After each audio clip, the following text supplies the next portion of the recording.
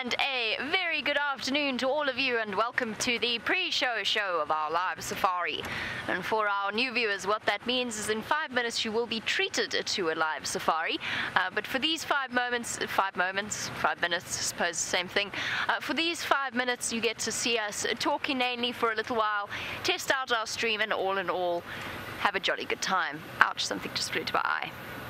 Now, on the back with me is Dave, returned safely from leave. In fact, we have a, we have had a mass entrance back into camp. Um, Miss McLennan Smith's voice is back in my ear, so Kirsty is back. Baby Impala, it's your first, it's your first baby Impala. Kirsty, would you like to see a baby Impala? Look at that baby Impala. Oh, never mind. There was a baby Impala. It's now um, hidden behind all three adult Impala. oh, there's one in the road. Ha you little, two little ones.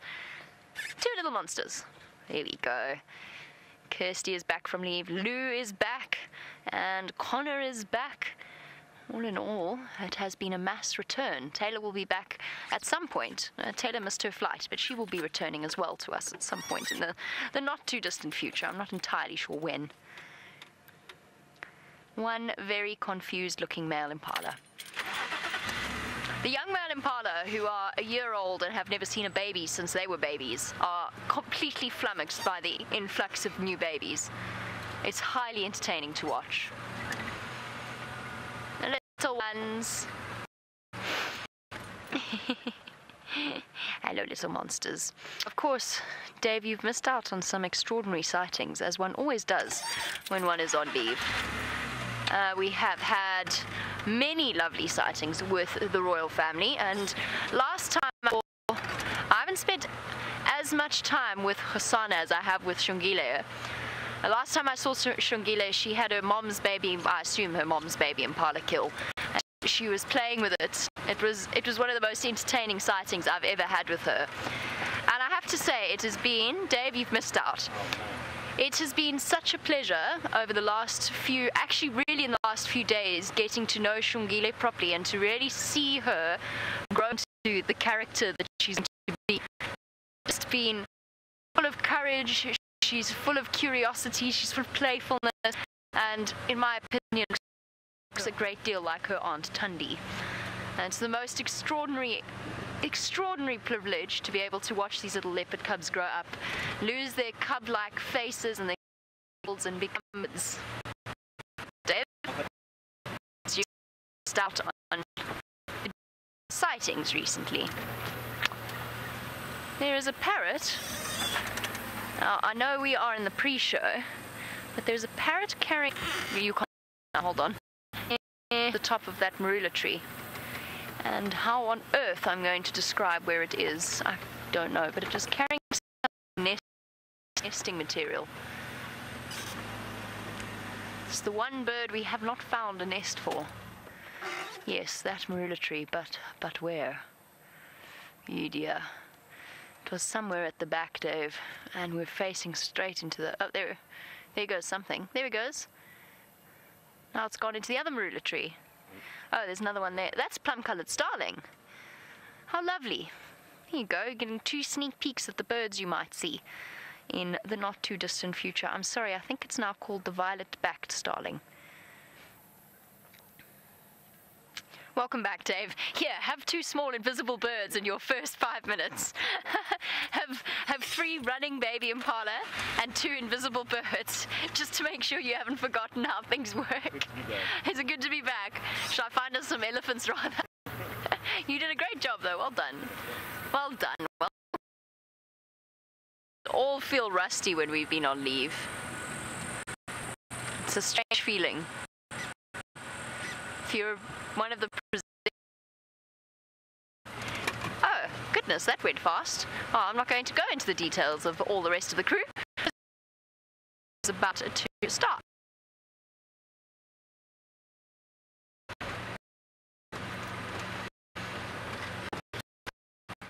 This program features live coverage of an African safari and may include animal kills and carcasses. Viewer discretion is advised.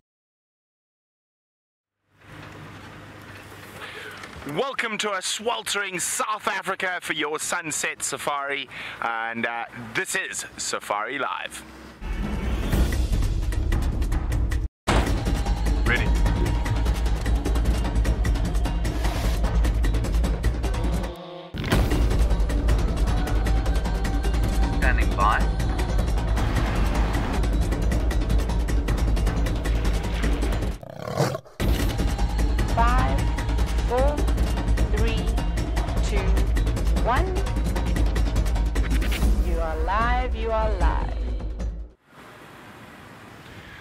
Welcome, welcome. As I said, it's a sweltering day here in South Africa.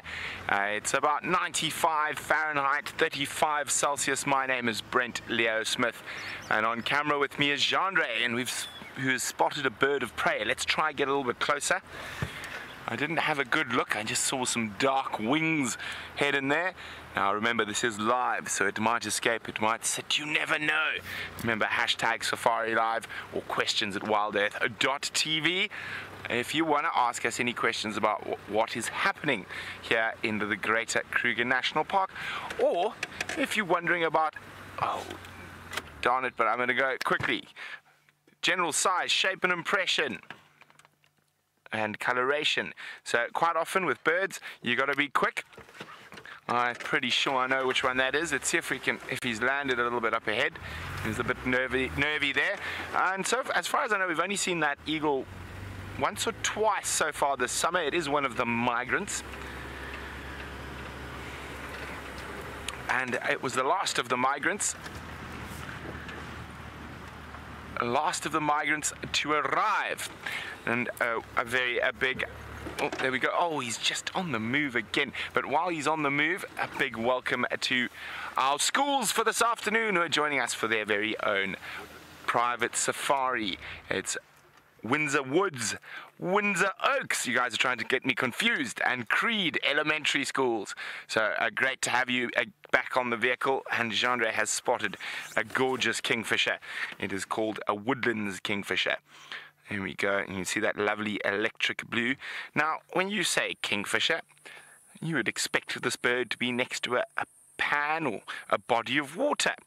But not all kingfishers eat fish. This is an insectivorous kingfisher, so he eats bugs and frogs and lizards and is quite often does a lot of his feeding away from the water. Now see how he's opened his beak like that? That's because it's swelteringly hot today. And if you look carefully at the, his throat, he's inhaling very quickly. That is called a gular flutter. It's a bird's air conditioning system. So they bring air quickly over the blood vessels in the tongue to cool the blood down.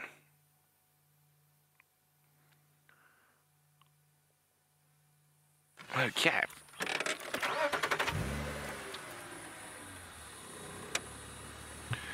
Hello, Amaya.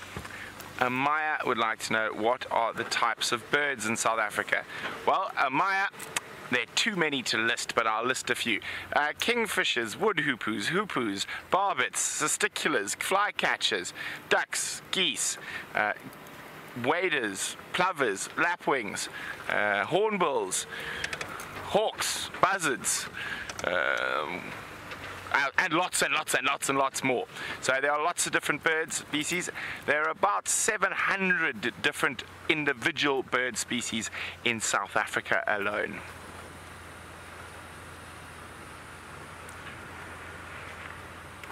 Okay.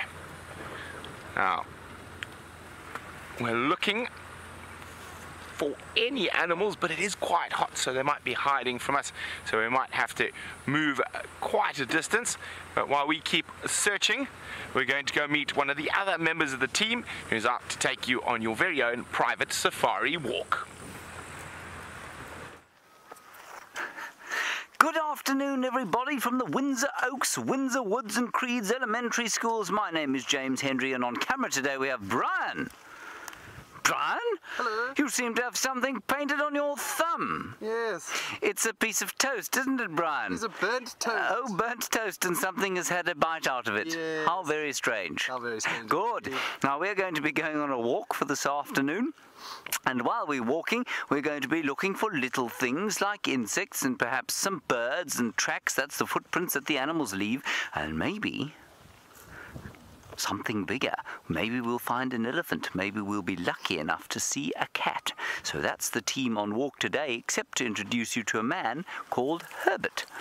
And Herbert is a long way away over there, and he's a tracker. He's a very, very fine tracker, and he's looking for animals while we over here.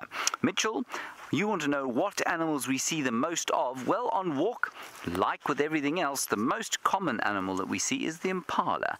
And that's a little antelope, a bit sort of about the size of a white-tailed deer, I imagine. That might give you a bit of an idea of how big it is. Now, just look at this tree. I didn't start behind this bush for the sake of it.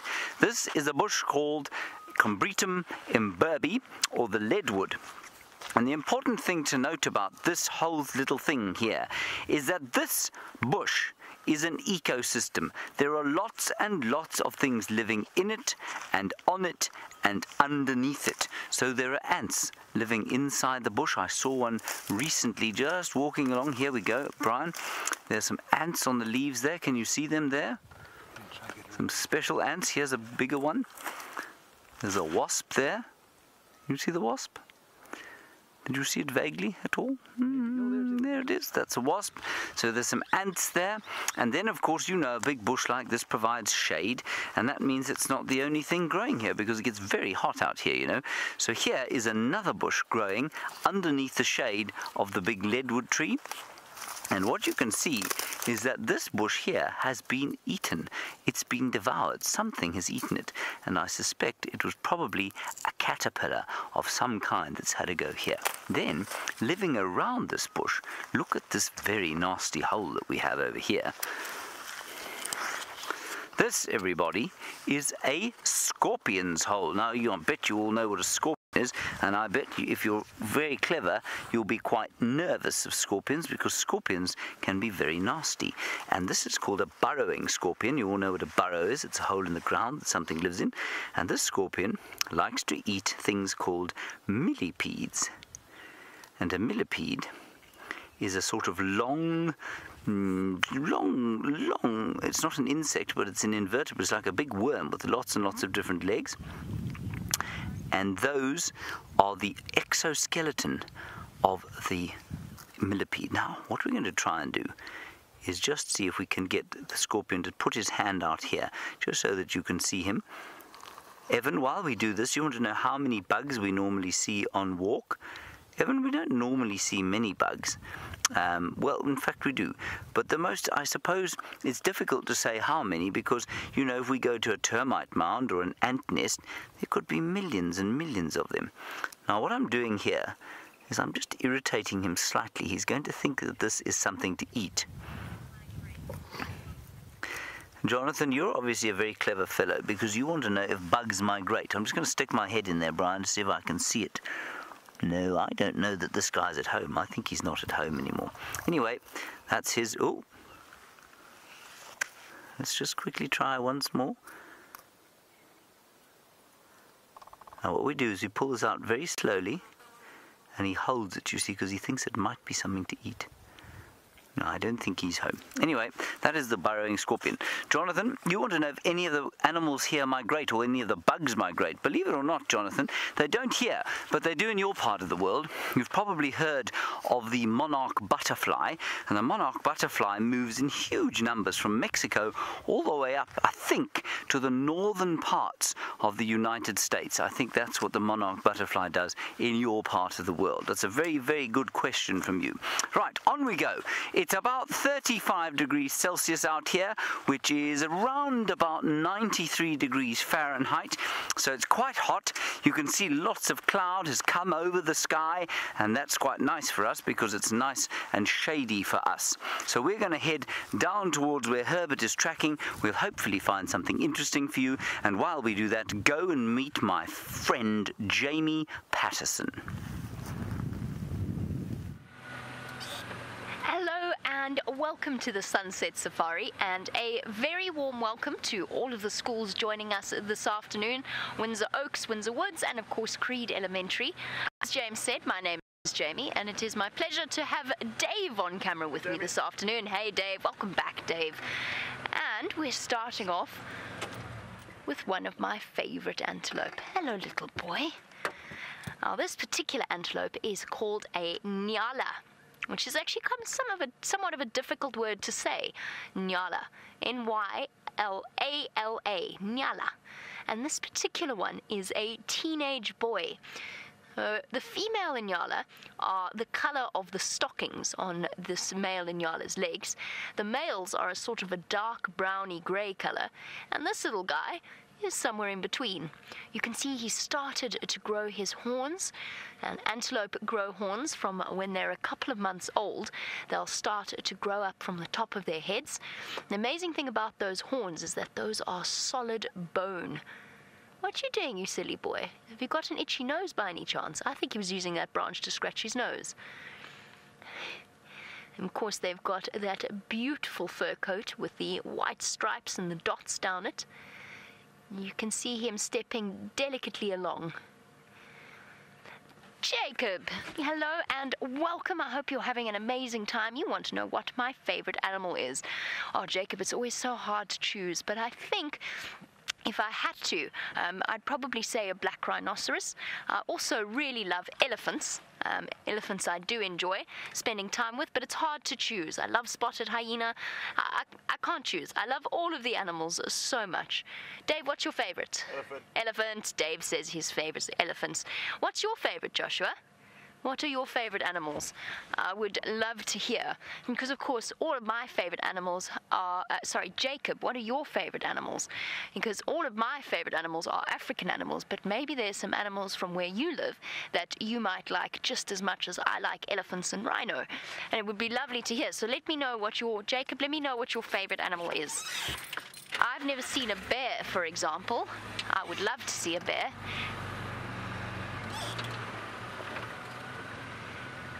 And Hayden, you want to know?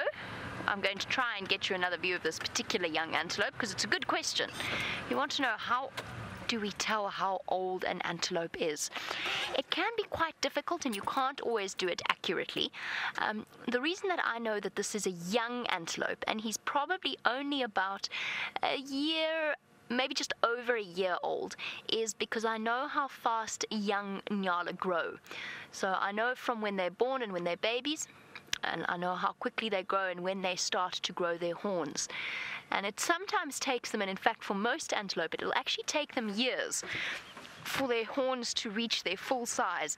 And it's usually between four to about six years that it takes them for the horns. Now, in the Nyala's case, when he's fully grown, when he's about four years old, his horns are going to go all the way back and then curve upwards.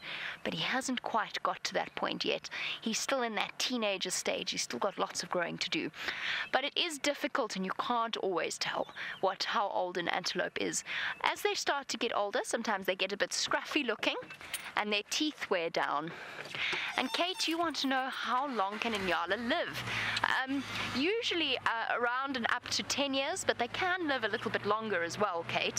It, the thing is, it's a tough life out here, and there are lots of predators, lions, will eat Nyala. So obviously the average age is very dependent on that with all of the scientific study that goes into it. Not all of the Nyala live up to their old ages. But if you had an Nyala in captivity, it could probably live over just over 10 years or so. Uh, some of our animals can live a really, really long time. Elephants, for example, can live up to 60, even 70 years if it's a really, really old elephant.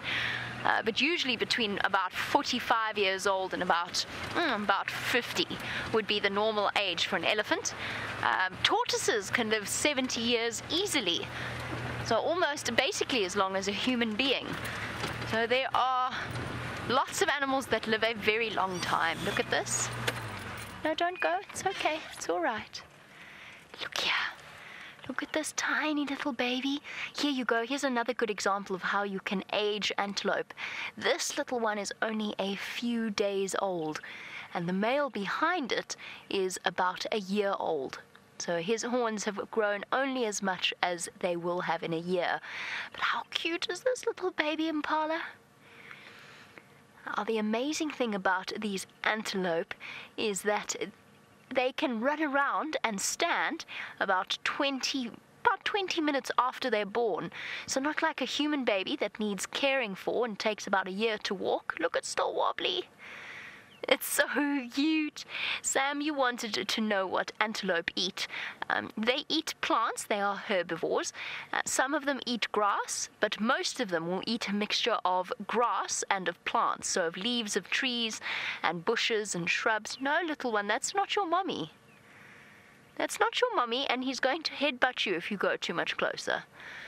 Your mummy is not the, not him. Is your skin itchy? Oh, you're so cute.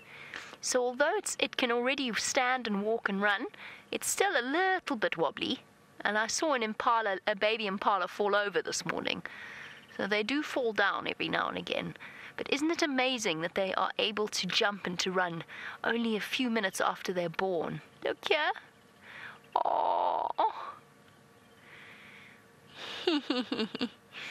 oh dear. I told you you were going to get a headbutt. yes, there's your mom. Stay with your mom. Lily, you want to know if baby impala are born with horns to protect them. No, they're not, because otherwise they could actually seriously hurt their mummies.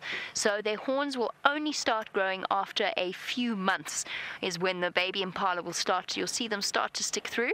And for impala, it will only be the boys that grow horns. So if we look at the, the baby's mom, See, she doesn't have horns at all. Even though she's fully grown, she's a fully grown adult, she doesn't have any horns.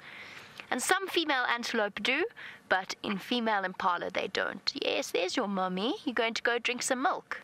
No, not just yet.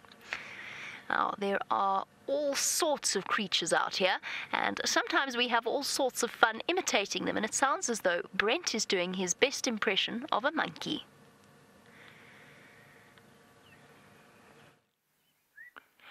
Okay, so there's lots of different animals, but just as important as the animals is the, are the trees. Now, I'm in a very interesting tree. I'm quite high above the ground at the moment. Now, this is called a tamboti tree. Now, this tree is eaten by very, very few animals, and the animals that eat it eat it for medicine. So it's highly, highly, highly poisonous.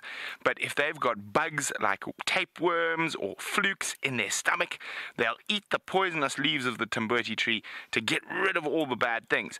And it can be also used in human medicine. But I'm going to have to come down the tree, hopefully I don't fall out, to show you what I mean. Oh dear, this is quite high. But fortunately, I descended from monkeys. So I still have uh, some tree climbing skills left. One would hope.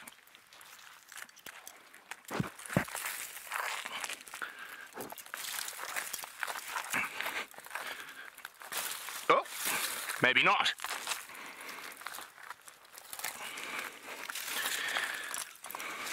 Okay.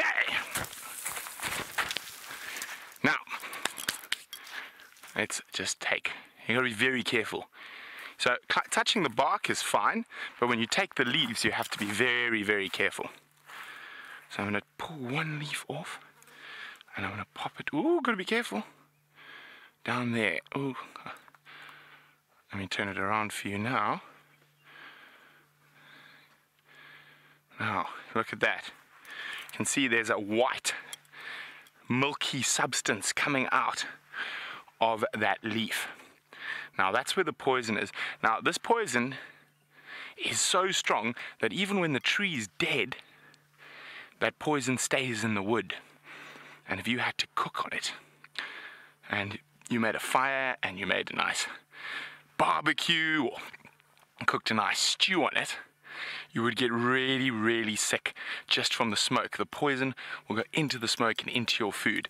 But it is a very, very cool tree, and it's a very important tree. So, baboons, giraffe, black rhino, kudu will all eat this when they've got something wrong with their tummy to try help clean clean the system out completely. So it is a very important tree. So sometimes poisonous trees can also be good. For human beings, the poison is actually used for toothache. If you've got really, really bad toothache, you've got to be very, very careful with it. it. They'll put it right into where the, the hole is in your tooth, and it'll actually sort of kill your nerves completely so you can't feel any more pain. So, like uh, a, what's it called? A root canal by Bush Root Canal. I wouldn't recommend it though. If you can go to the dentist, I would. So, we're sitting in a dry riverbed at the moment, we're going to keep moving. Now, dry riverbed's always a good place to look for animals on a hot day because you've got lovely trees like the tamboti that offer shade.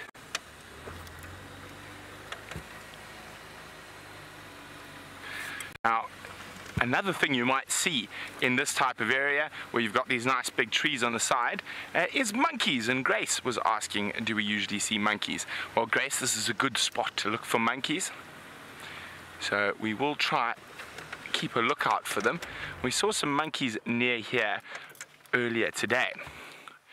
But if you have a look carefully through this area, you can see where the river flows when it flows, where it's deep here.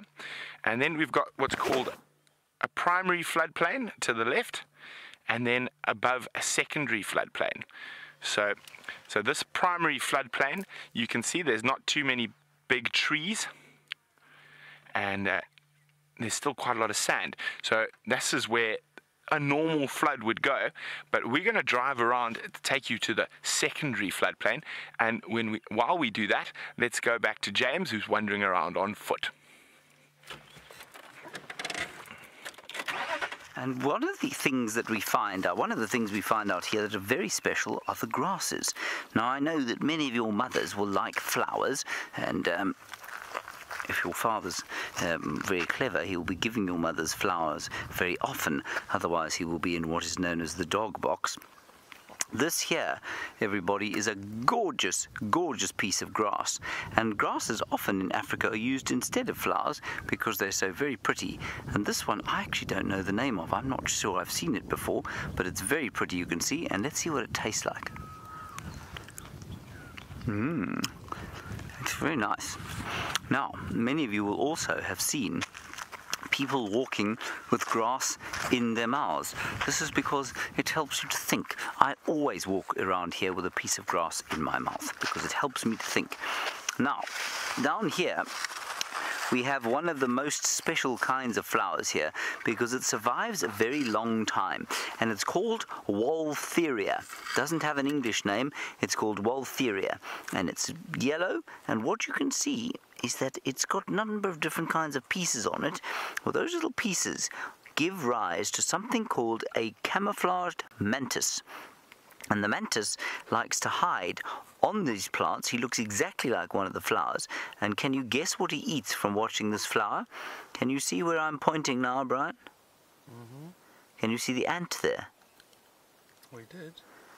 There, he's, well, he's just here he comes. He's on the top of the leaf now. There he is. Now that ant that you saw and there you see now, you see he's wandering around here looking for nectar to drink from the flowers of the Waltheria plant. And if the mantis is around here, and I can't see a mantis here now, he looks exactly like the flower. And so what the, the ant does is he tries to get some nectar out of the mantis, not realizing that he's a mantis, and then he gets eaten. So it's really very clever of the mantis to look like the flowers. They're predators. They love to eat delicious uh, ants. Ants taste a little bit like. Um, well, they taste a little bit like lemon sometimes. Some ants taste like pepper, and others taste like lemons. Isn't that nice? Now, one of you wanted to know what season it is here. Well, if it's 35 degrees Celsius, 93 degrees Fahrenheit, Shannon, it's not anything other than the middle of summer. It's very hot here, Shannon. And we need to make sure that we have enough to drink when we're out here in the wild. And so, what we do is make sure that we have sufficient to drink. Maya, yes, they are. You're very clever. You said, Are some of the flowers poisonous here? Absolutely they are poisonous here, and we need to be very careful. You must never in the wilderness put anything in your mouth that you don't know how to identify. So if you don't know what it is, then you mustn't put it in your mouth. Now, I don't know what this grass is, but I know that none of the grasses here are poisonous. But for example, if I was to find something like this plant here that I'm pointing at with my stick, I don't know what that is, and so I wouldn't dare put that in my mouth because it might make me sick, and that would be very, very dangerous indeed. Now, what we're going to do is walk along what we call a drainage line. Now, a drainage line is a dry riverbed and we're going to walk along it because sometimes you find very interesting things there because there's quite a lot of shade and that shade means that animals like to hide there and the trees mean that birds like to live in these drainage line areas so we're going to go down through here and then we'll show you over the top into this dry riverbed and you can imagine that at some stage in the history of this great landscape, there would have been water flowing through these rivers. But now it's very dry, it's much too dry. And so it's highly unlikely that it's going to produce any water. What we're going to do is just look over the top here. See? Look at that. And I can't see any animals, but Brent Leo Smith thinks that he might have something extremely special to show you.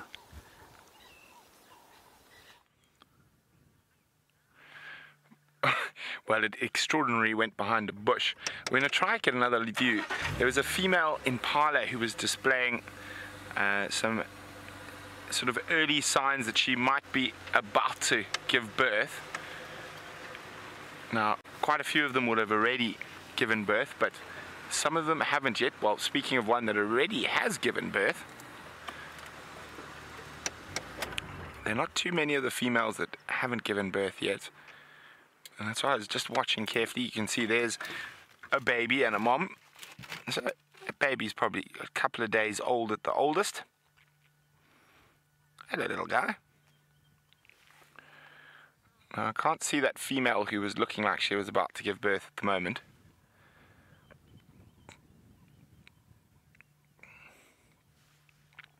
There's, there she is. That's her. You can see her tail's up quite a bit.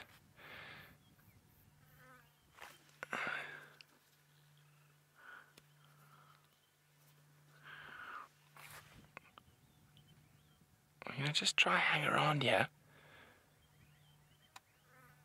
Hopefully she doesn't stop behind a thicket, which I think she has.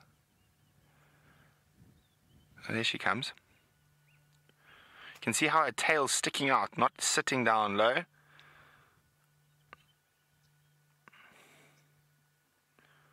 I'm just trying to watch the side of her belly for any movement. Sometimes you can see the babies kicking.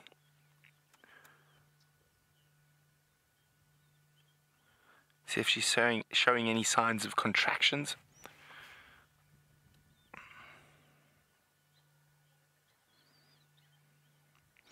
Okay, well, we're going to keep a close eye on these impala.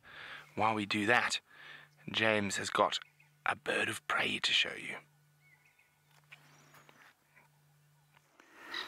This is very, very, very special, everybody. There's a Wahlberg's eagle, that's what that is there, sitting very close to the ground, and in the background, you might just be able to hear francolins they're like little bush chickens that run around the bush here, and what they're doing is alarm calling. So they're calling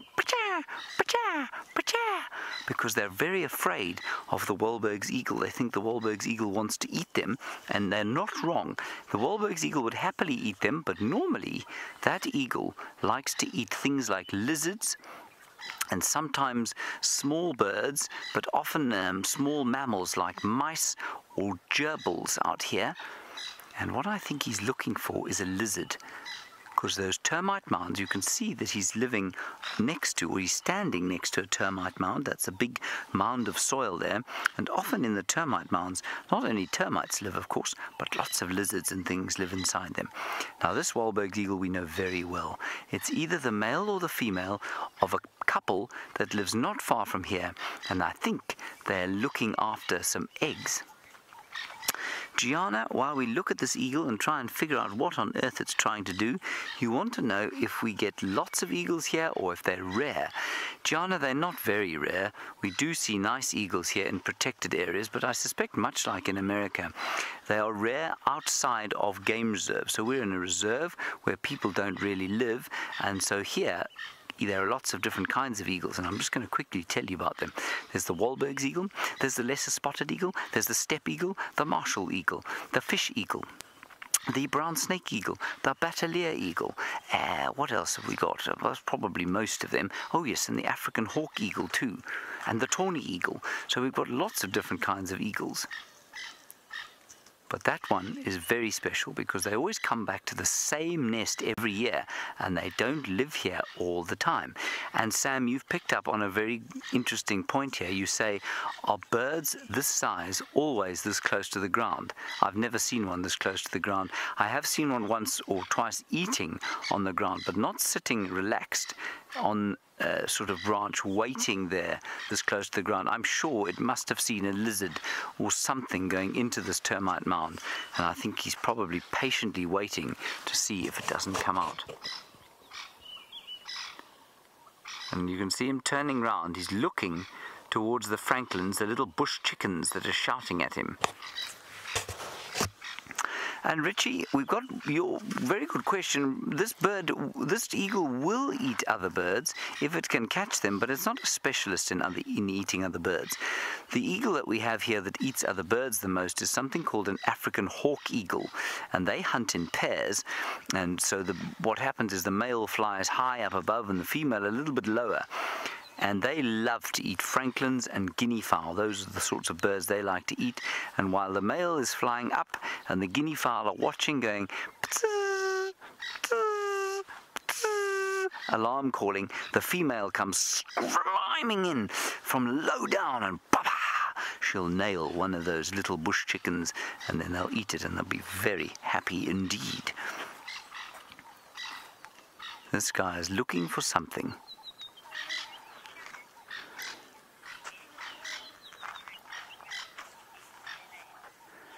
Now, Shannon and Miss Frederick, you're wondering about how this eagle manages to breed. Well, Shannon, this particular eagle does indeed lay eggs. All birds lay eggs. Every single bird in the world lays eggs, and this particular one lays only one egg at a time. Many eagles lay two, but this guy only lays one egg at a time, and then they raise the chick, the male and the female, together. Now, what often happens with eagles is that if they then lose that chick, they might try again that year.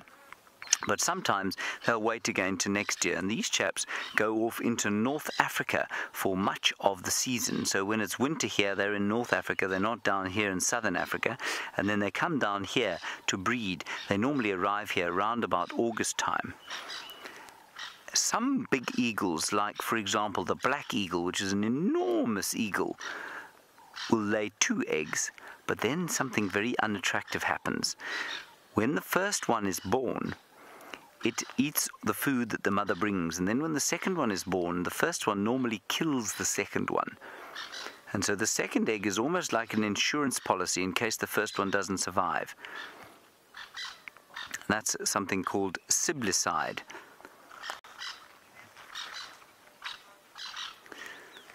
Alrighty, we're going to stand here a little bit longer with this little bird, or quite big bird actually, it's about that big. While we do that, Brent is still with a pregnant impala. Let's go and find out if she's going to have her little lamb.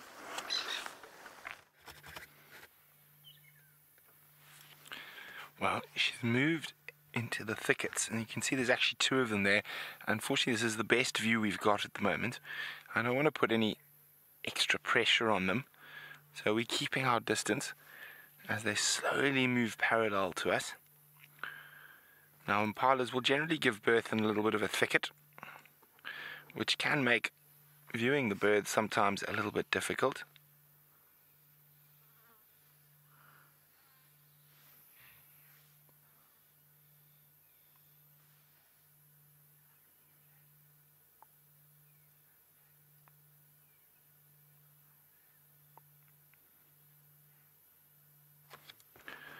Hi, Tristan. Tristan would like to know if if I've seen any animals give birth before. Well, Tristan, on the live drives, I think we've seen wildebeest, zebra uh, give birth before. Um, I haven't seen a live birth before, but um, in all my years in the bush, I've seen lots of different births. I've seen impala, elephant, giraffe, uh, kudu, wildebeest, zebra. I've seen quite a few impala birds as well. I'm just trying to see if I can get another view of them as they're moving through the thickets. See, there might be a gap through here.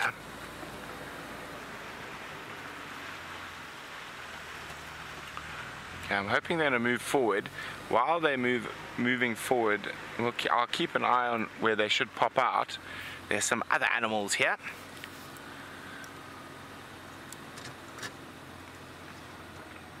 Hello, fluffy waterbucks.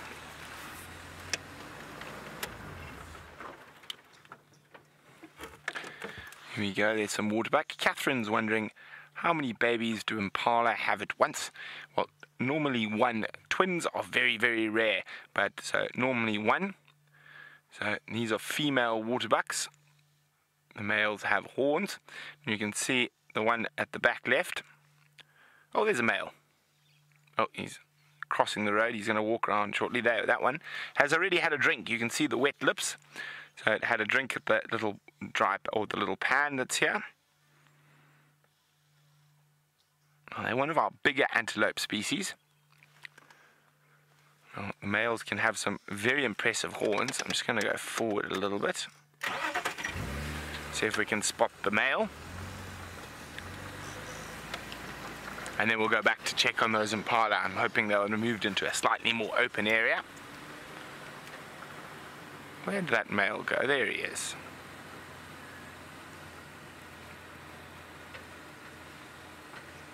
So that's the boy.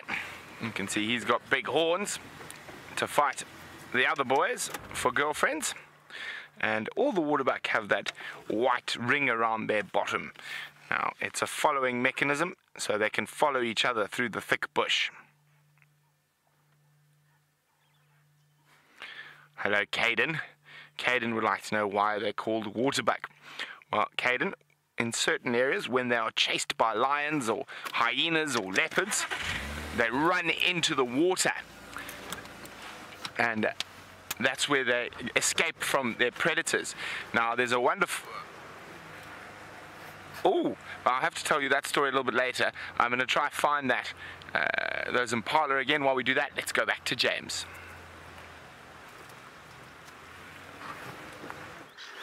We've snuck just slightly closer, everyone, to the Wahlberg's eagle. We've come about, oh, I don't know, about 30 feet closer, maybe even more, 40 feet or so. And we're just trying to see if he will fly away, if he'll let us come towards him. Isn't this wonderful? He's such a beautiful bird, and I've never been this close to a bird like this on foot. Not ever, except once actually. I'm talking nonsense. I have once, but that was a chick, and that was round about this time of the year when a couple of Wahlberg's eagles where I used to work, they lost their baby. He fell out of the nest and they left him, and he wasn't much smaller than this one. And so we picked him up, we took him home, and we fed him. And he eventually flew off, and I don't know where he is now, but I think he survived. It's very special, and you can hear still maybe the francolins going. Josie, you wondering if, if all eagles eat lizards? Um, Josie, not all eagles will choose to eat lizards, but I suspect most eagles will if they have to eat lizards. Our biggest eagle, the martial eagle, loves to eat lizards and uh, but enormous lizards, big monitor lizards, they catch them quite a lot. I think you'll find that most eagles, if they are, if they find a lizard to eat, will eat a lizard, but they don't all specialize in them. So, for example, like I said, the African harrier hawk, at least the African hawk eagle, that loves to eat other birds. Um, the martial eagle will eat lizards, definitely. The tawny eagle and the bateleur eagle, well, they like to eat carrion or rotting flesh. So they're a bit like vultures or what you would call a buzzard. They like to go down towards something that's dead and eat that. Ooh, There's something extra special going on now. Did you see the bird land on top there? Okay, we're not going to try and look at it now, but a very special bird called a great spotted cuckoo has just landed in the tree above our very friendly eagle. Now, come with us, everybody. I want you to be very, very, very quiet, okay? And I want you to watch where you place your feet. Be careful not to snap on any twigs or any leaves. We're going to go just a little bit closer to Mr. or Mrs. Wahlberg. I don't know if this is the male or the female. You know, with these birds, often the female is bigger than the male, unlike with human beings.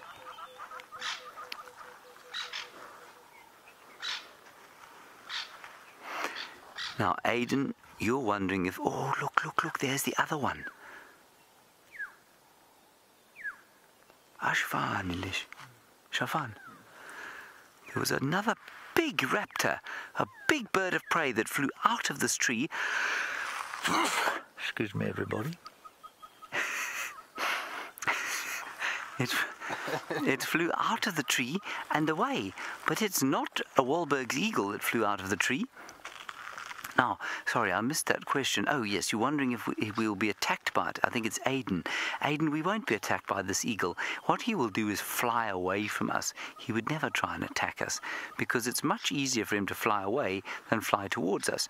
And most animals, if they attack a human being, it's because they're scared of us. It's not because they don't like us or because they, they want to eat us or hurt us. It's because they're afraid. And if you know that, you realize, of course, that an animal will run away from you, will fly fly away long before it decides to attack you. And so it's much easier for this eagle, which is smaller than us, to just fly away rather than try and attack us.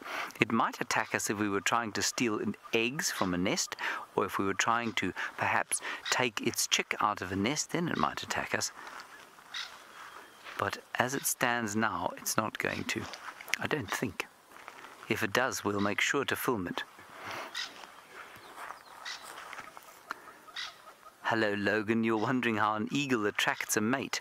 Well, what they do, Logan, the first thing they have to do is have a shower and then they put on their best feathers. And once they've put on their best feathers, they put on some nice smelling scent. Normally they pick it from a flower here called ocimum, and it smells like aniseed. And then they go round to the nest of the eagle that they like, and they knock on one of the branches, and then the big daddy eagle sticks his head out of the nest and he says, What do you want? And out pops the big daddy eagle's daughter. And he says, I'd like to take your daughter out to see a movie, please, sir. And off they go on a date, and if they like each other, well, then they spend the rest of their lives together. They get married. Logan, I'm obviously talking absolute nonsense. Um, they do it through probably pheromones. You know, pheromones are a very special kind of chemical that all bodies produce. We do as well.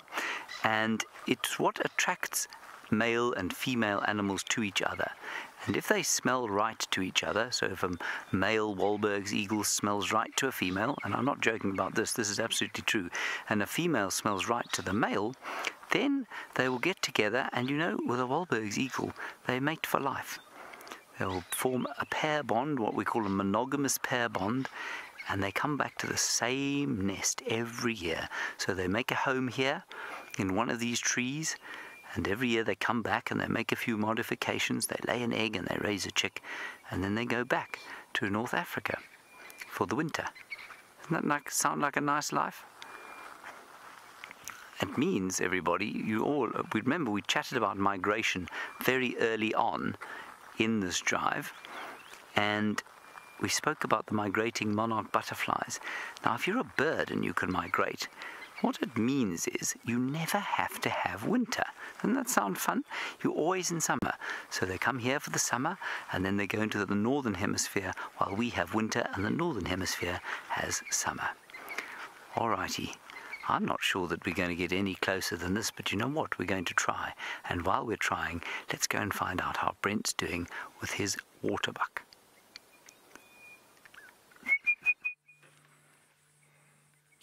So we're still with those waterbuck. Now, I'll tell you a, an interesting old African folklore about waterbuck. They are and why they can go into the water. Because, of course, in the water out here, there are crocodiles. But a waterbuck will run into the water even though there are crocodiles. And why would the crocodiles let the waterbuck do it? So, the old story goes that many, many years ago, a crocodile was feeding along, or was sleeping on the edge of his river, and a big tree fell down and trapped the crocodile under uh, the log. And Waterbuck happened to be walking past. Actually, I'm going to move a little bit further forward so you can see the male. There we go, because that's important for the story.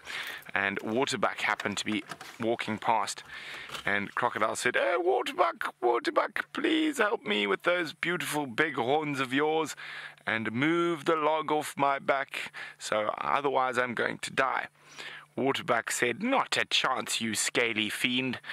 Uh, if I move that log off there, you'll just eat me next time I go into the water. And the crocodile begged and begged and begged and promised that waterbuck would never be harmed if it, he ran into the water, and his whole family would be spared. And uh, eventually, after much convincing, the waterbuck used his big horns and lifted the log off the crocodile, and the crocodile was free. And since that day, Waterbuck has been free to take refuge from lions and other predators in the rivers and lakes of Africa. Of course, that is not a true story. A crocodile will eat a waterbuck given the opportunity, but it is an old African folklore from the Zulu people.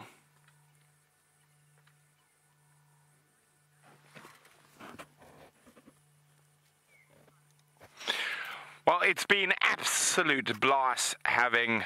Wait, now I've got. Now I'm getting confused. It's Glen Oak and Glen. Glen Windsor. No. Creeds, Windsor Woods, and Windsor Oaks. It's been great having you guys on drive with us, and uh, hopefully, we'll be seeing you on another wonderful school trip soon. And uh, we're going to jump across to Jamie, who's got another antelope.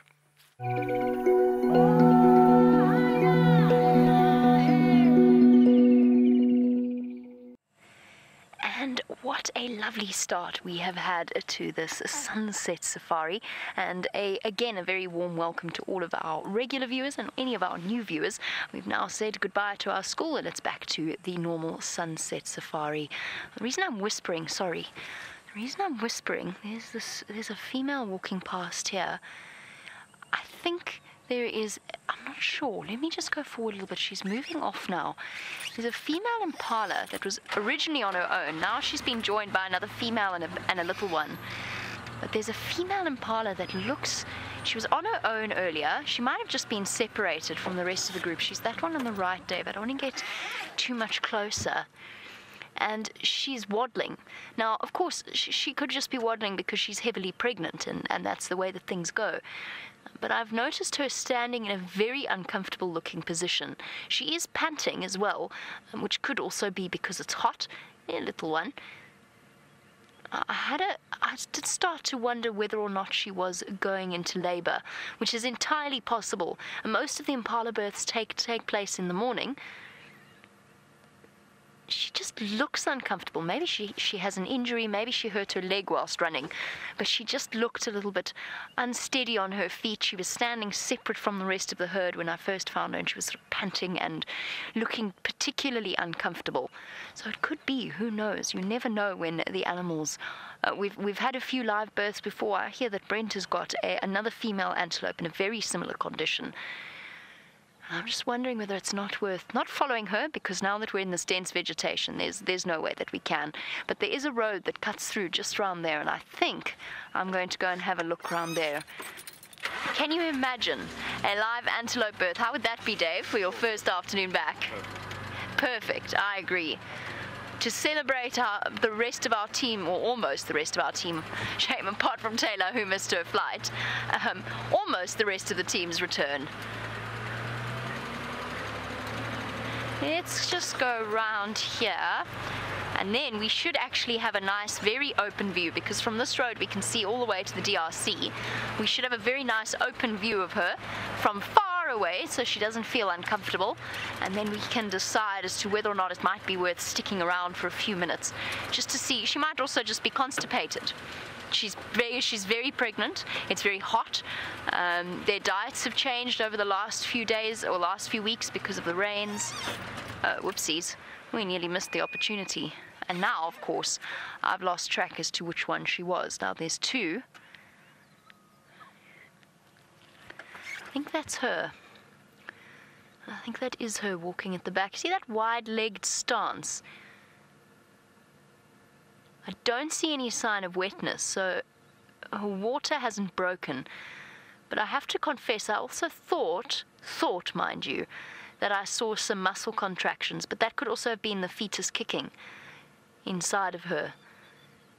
So I'm not 100% sure.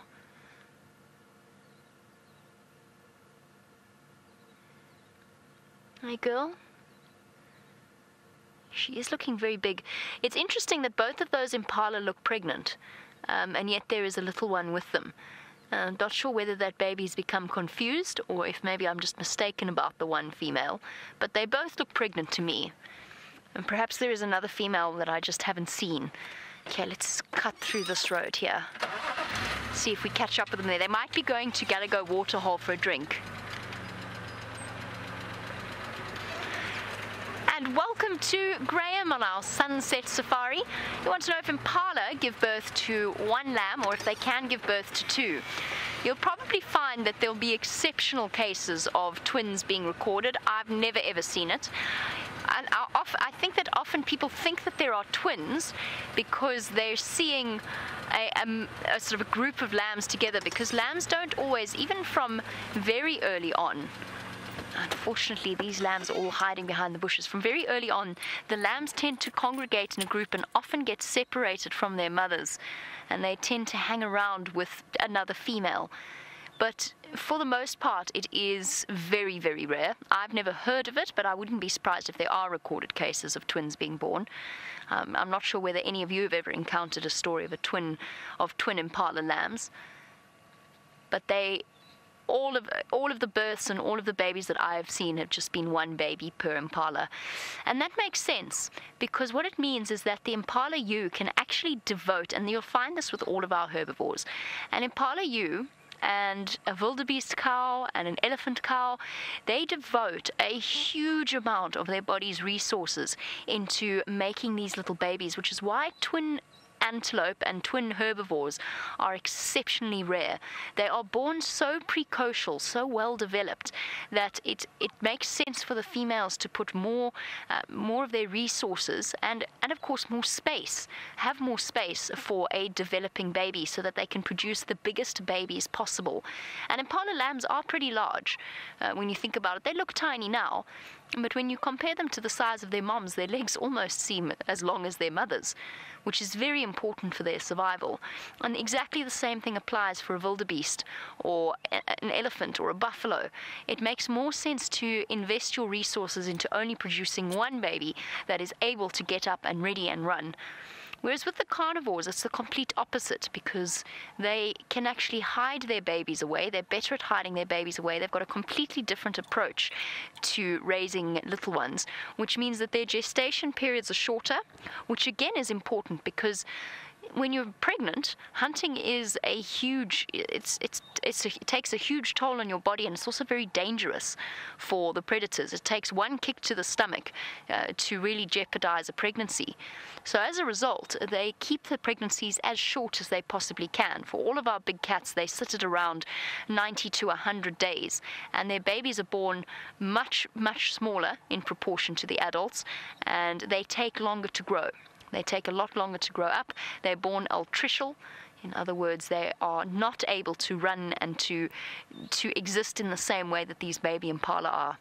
There are recorded cases, of course, of elephant twins, and there are also rare instances of giraffe twins as well. Although, again, it's another situation where I think that a lot of the time people have assumed a giraffe has had twins, when in fact it is just another baby giraffe and the mother's out of sight. And a little one resting there. Now, I'm sorry to leave these in impala, but I just want to see if we can catch up with that female. It might just be that she's feeling hot muggy, tired, pregnant. Her ankles are probably a bit swollen. She's probably had to urinate five times in the last hour. So, I mean, it could just be that she's feeling hugely uncomfortable.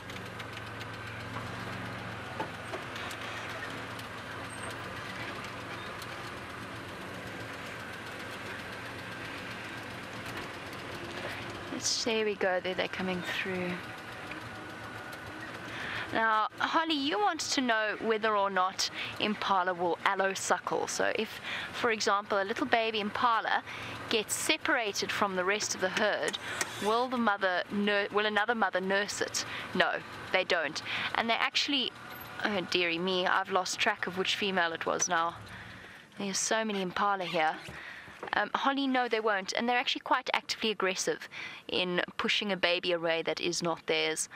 There's a, a very very strong bond between the mothers and their offspring, and you'll see it with everything from wildebeest. Uh, I mean, I have seen zebra foals being kicked and bitten by females that won't help them out. I can understand impala would be a slightly different thing, but no, they'll they'll headbutt the babies and they'll push them away from their teats. And of course, many of you, oh, I think quite a few of you will perhaps have had some farm experience or perhaps have, have been on farms before, and you'll know that with female sheep, if you do want to get the the mother to accept a lamb that isn't hers, you have to go about doing so in a very, very careful way. And a lot of that is purely scent based, which obviously doesn't happen in the wild. The mother bonds so tightly to the sound and to the smell of her own baby that she won't accept another one. Oh dear, I have lost track of our female. I have absolutely no idea which one it was that we were looking at. It could be any one of the back here. And actually, if she was going into labour, she probably would not have rejoined the rest of the herd. So perhaps we, we got a little bit overexcited there. But I'm sure you are all wondering what's happening with Brent, and I'm sure I think it's time to head over to him so that he can update you.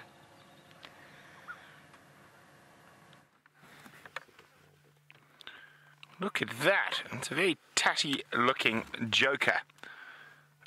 Oh, it looks like she's missing a bit of her wings.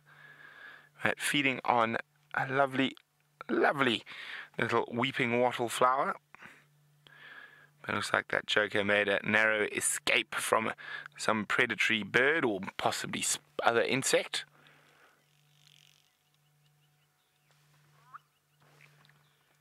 Ooh, and I hear something else that flies, but a bit bigger than a butterfly. No, I heard him calling. I'm going to go backwards. So I heard that whoop, the beginning of the black-bellied bustard's call. Ah, there you go, got it. Top of the termite mound. Just trying to get a good spot. Strange.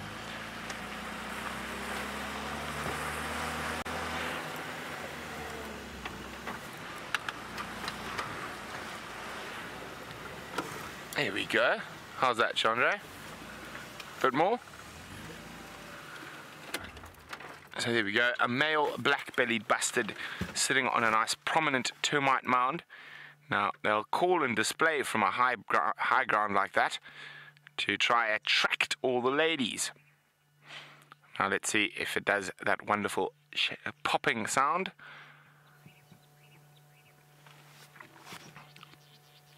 There we go.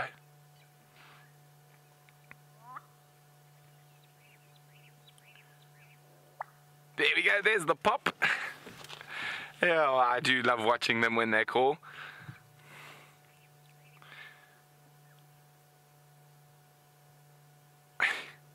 Come on, girls, where are you? He almost looks to the sky, saying, Ladies, why do you abandon me?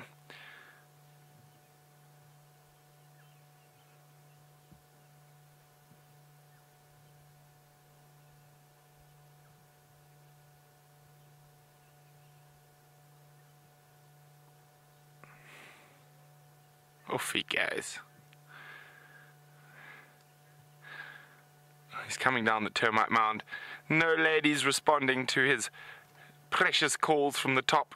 So he's probably going to move through here. He might be a bit hungry. He also might just move to another vantage point, another piece of higher ground where he can possibly attract the attention of some females.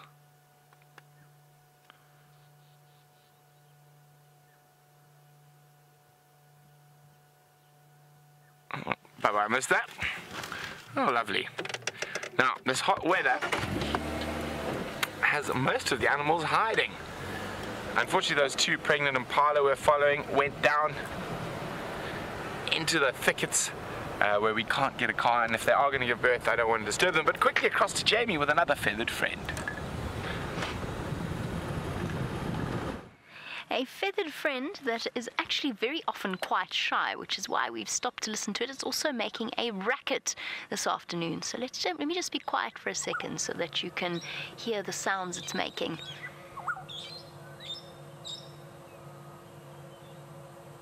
It is a brown-headed parrot and you can just see it cheeping. I know that the black-headed oriole, that whistle, is sort of the overwhelming sound that we're hearing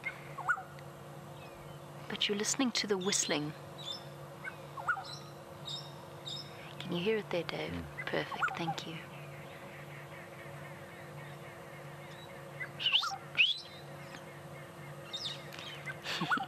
the brown-headed parrot and the the black-headed oriole, not to be outdone, is making an absolute racket next to me.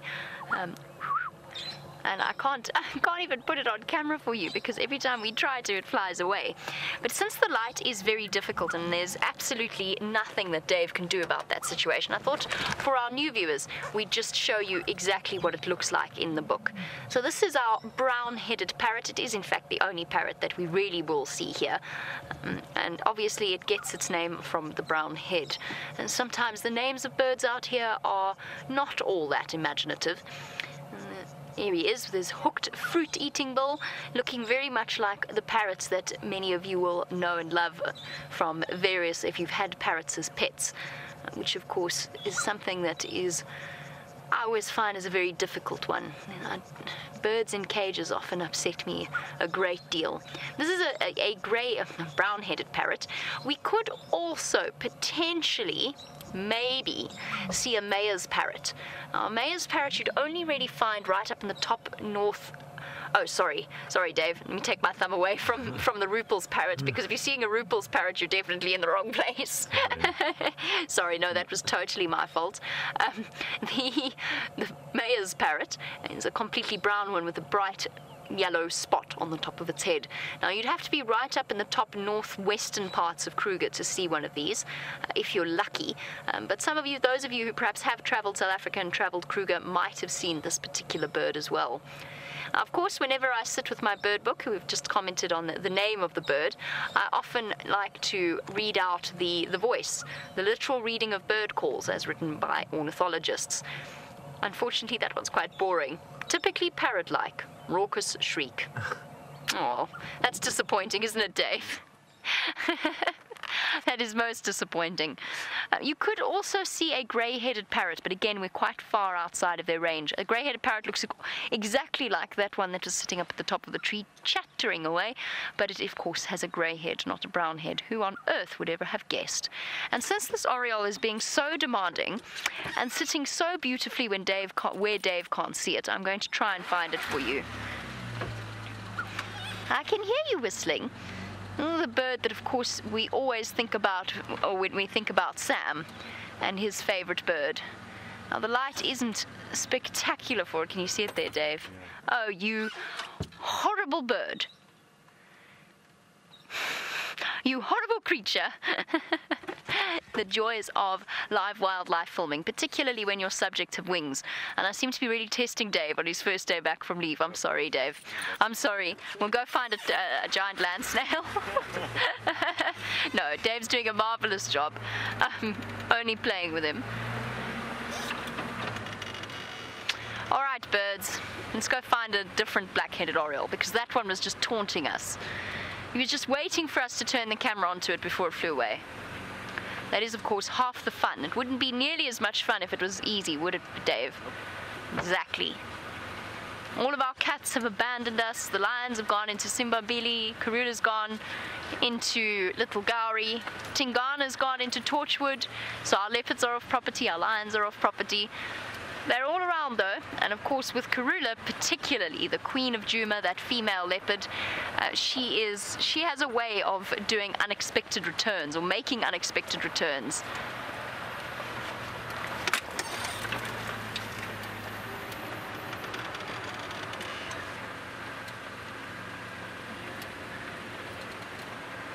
Now, Lavnisha, you wanted to know about the two cubs that went with the Lion Pride. Um, Lavnisha, we haven't heard anything, but I am planning a trip across in that direction in the not too distant future. So I will try and find out from some of the other guides and I'll let you know. So, f- what Lavnisha means, and for those of you that perhaps missed yesterday's safari, we were with all six cubs with the females at a buffalo kill at Sydney Dam. And we left to make vehicles. Apparently, James was there and.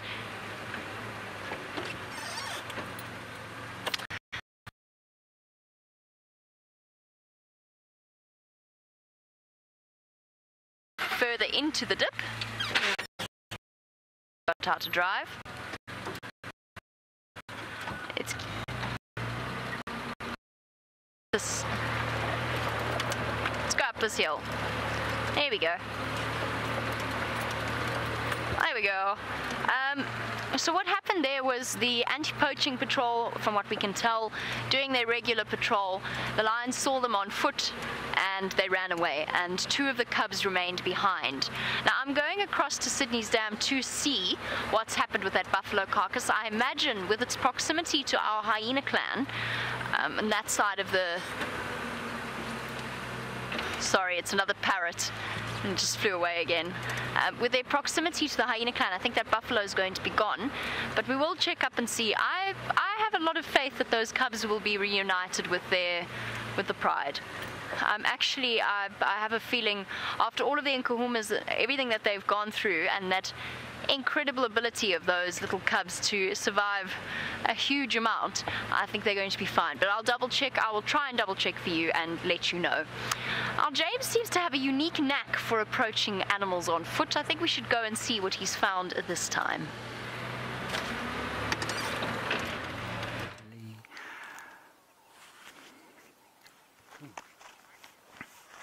I'm not so sure about that unique knack doing anything on foot, frankly. But anyway, we've got Lucky here with some waterbuck cows who are fascinated by Brian. Aren't they, Brian? They are. They are totally fascinated by him.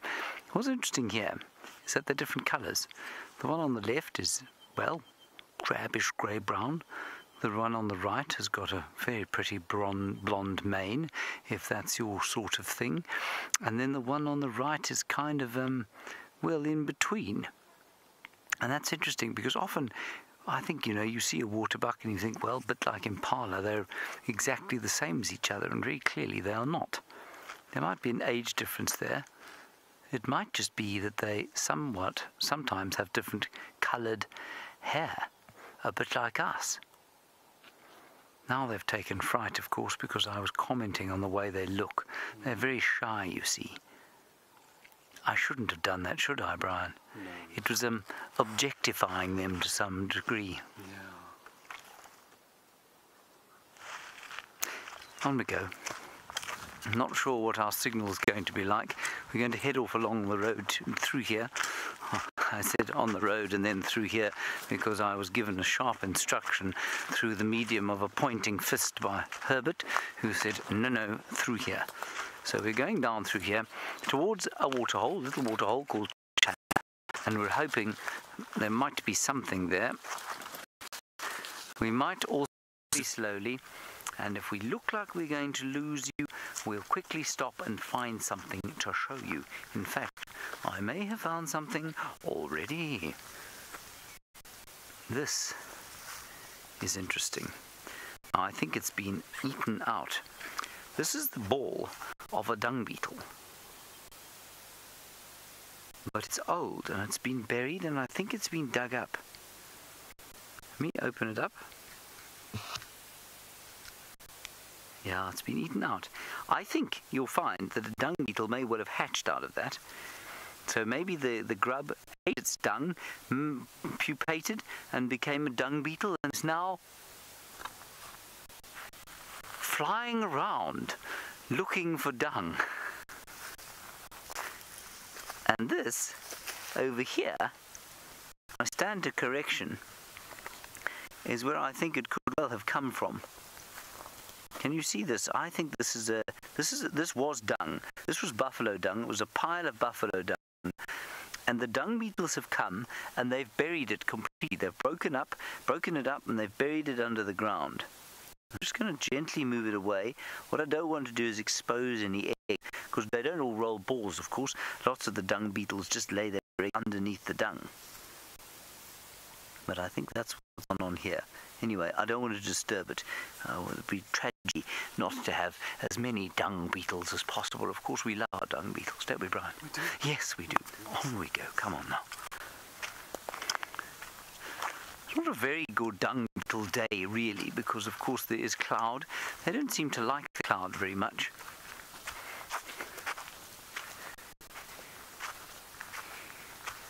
And as many of you will know, I've been reading that book on quantum biology, which is a, well, look, it's not a light read. It's not something you read, um, uh, well, without your brain in full function, really. And uh, one of the fascinating things, of course, is that a lot of birds navigate, we think, using basically a quantum computer, which is something that we as humans have completely failed to design. And what I think is happening with dung beetle, I suspect you'll find there's an element of that in the way that they navigate and find their way to dung. P. Um, sorry, I think I'm going to have to ask for that question again. Oh, if a dung ball gets wet, can it be reused again? You mean by dung beetles, P. I don't think so, no, because I think a lot of what the dung beetles like is the moisture. There's probably quite a lot of um, nutrition in the moisture in dung. It's not just water, so I wouldn't think so. No. Now, is this what I think it is? Or is it just a piece of bird dung? Herbie? Scale insect? Or is that bird poo? It is, in fact, bird poo. According to Herbert, he says this is not a scale insect, it is a piece of bird poo. How fascinating and wonderful. How embarrassing at the same time. Now, well, I will just tell you something about this bird poo, and that is that, of course, the white bit there is uric acid, and birds and reptiles are unable to uh, urinate and defecate separately. Uh, so they must do it out of the same opening. That's called the cloaca, and that's why we find u- urinating and defecating at the same time, and that's basically hardened urine on the top.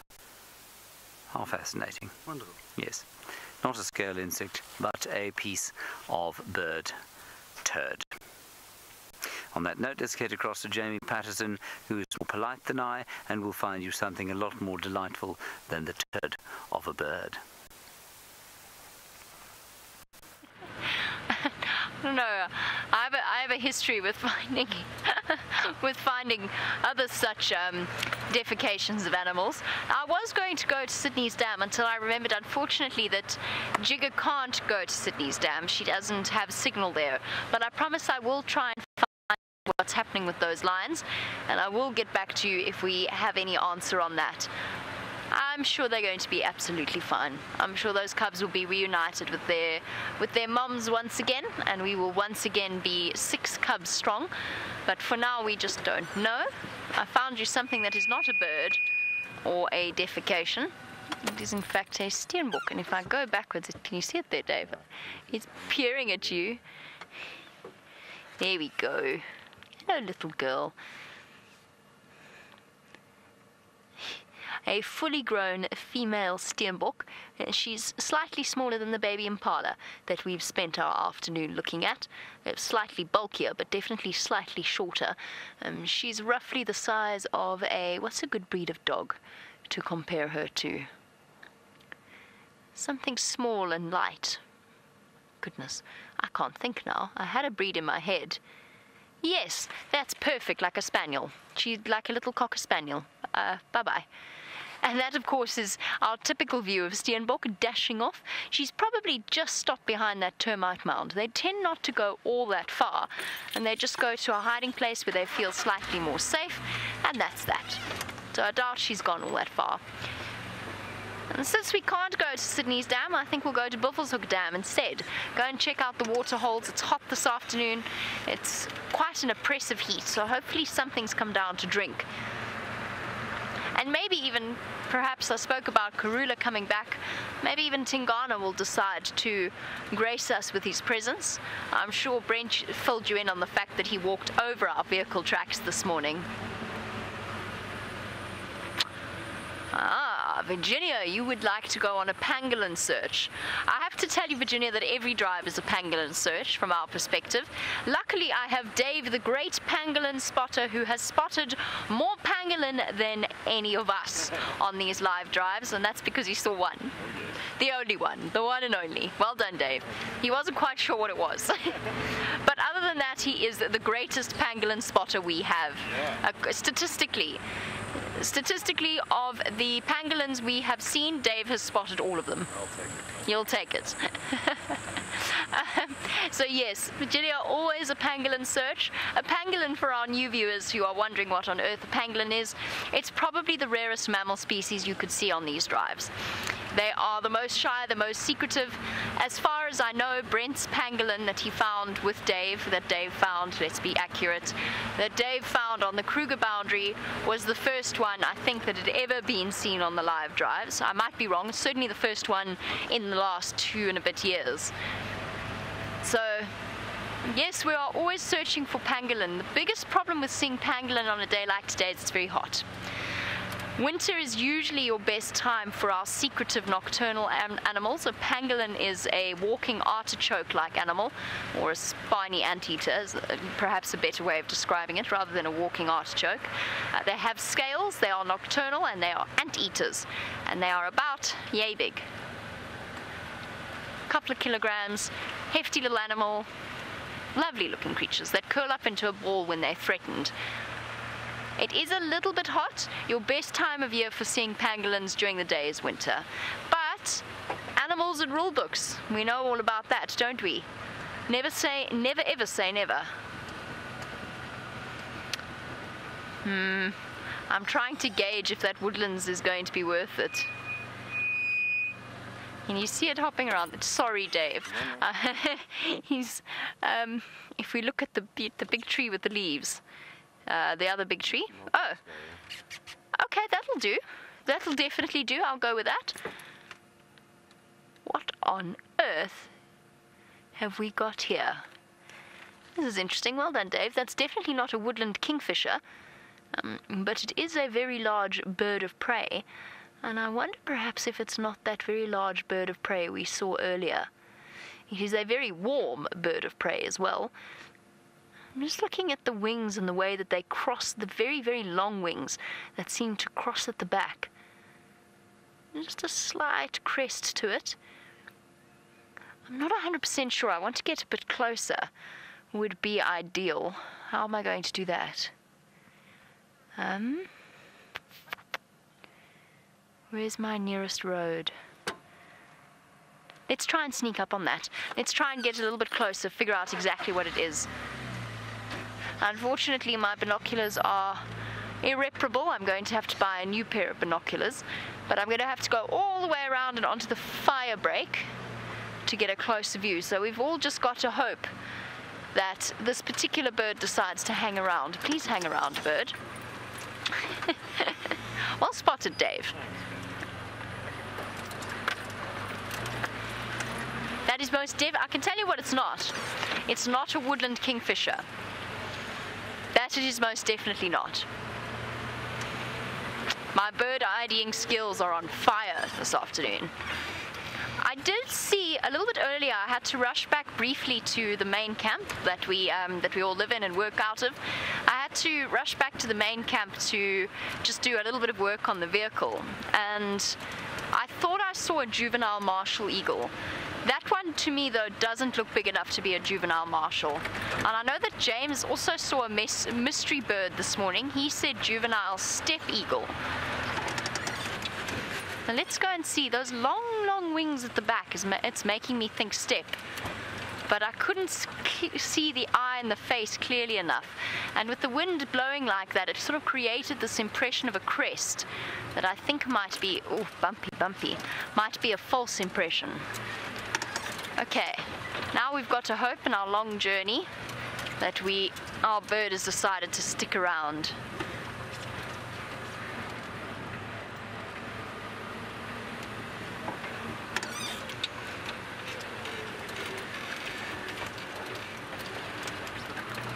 Luckily, um, the team at Djuma have fixed up this road beautifully. Now, Brandon, you reckon that it is an African hawk eagle? It's possible. I, I don't think so, though. I think it's too big. I have to confess, just being able to see perspective, it could well be there is a pair of African hawk eagles. Sorry, everybody, let's bump our way through this. There is a pair of African hawk eagles that live here. I don't think it's an African hawk eagle, but you, it, it's possible that you are correct. I think it's a little bit too big, though.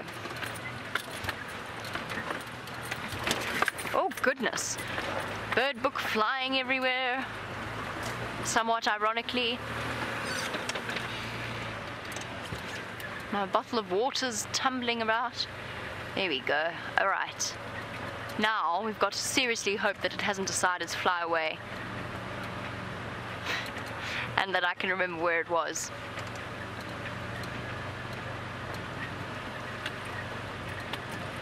I think we were just past this crest. That's where the woodland, that's the tree that the woodland kingfisher was in that I, that turned into an eagle. There it is. Okay, let's try and get a view of it from a different angle. The other thing that makes me think not, but perhaps I was mistaken in my glimpse, was that its boots or its feathered legs looked very dark to me. Okay, let me take my foot off the brake so that we don't.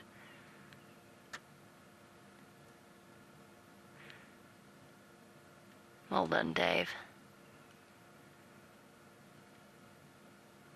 Oh, it could be with that light under the wings. It's too big. It's slightly too big for an African hawk eagle. Excuse me, would you be so kind as to turn around? Dark eye, but I mean that that doesn't really help us um, in terms of the various eagles. Most of them have dark eyes. It's definitely an eagle, obviously, just given the size, the shape of the bill, the shape of the body, and the legs. Kim, you say Wahlbergs again. It's a little bit big for a Wahlbergs. It's actually got a yellow. It does that have a yellowish eye, because that would be hugely helpful. It does, doesn't it? I'm not mistaking. I mean, I'm busy looking through my monitor, but it does look like it is slightly yellow. You got that bit of extra zoom. Oh, yes, of course. Dave can actually zoom in a little more. Very dark in color. I want to see your front. It would be most useful if I could see your front. If you would be so kind as to turn around. There's one other thing that I'm thinking, but I just want to check before I say it. I was thinking about a lesser spotted. It's a bit dark, and perhaps doesn't have enough on the wings, not, not enough white on the wings.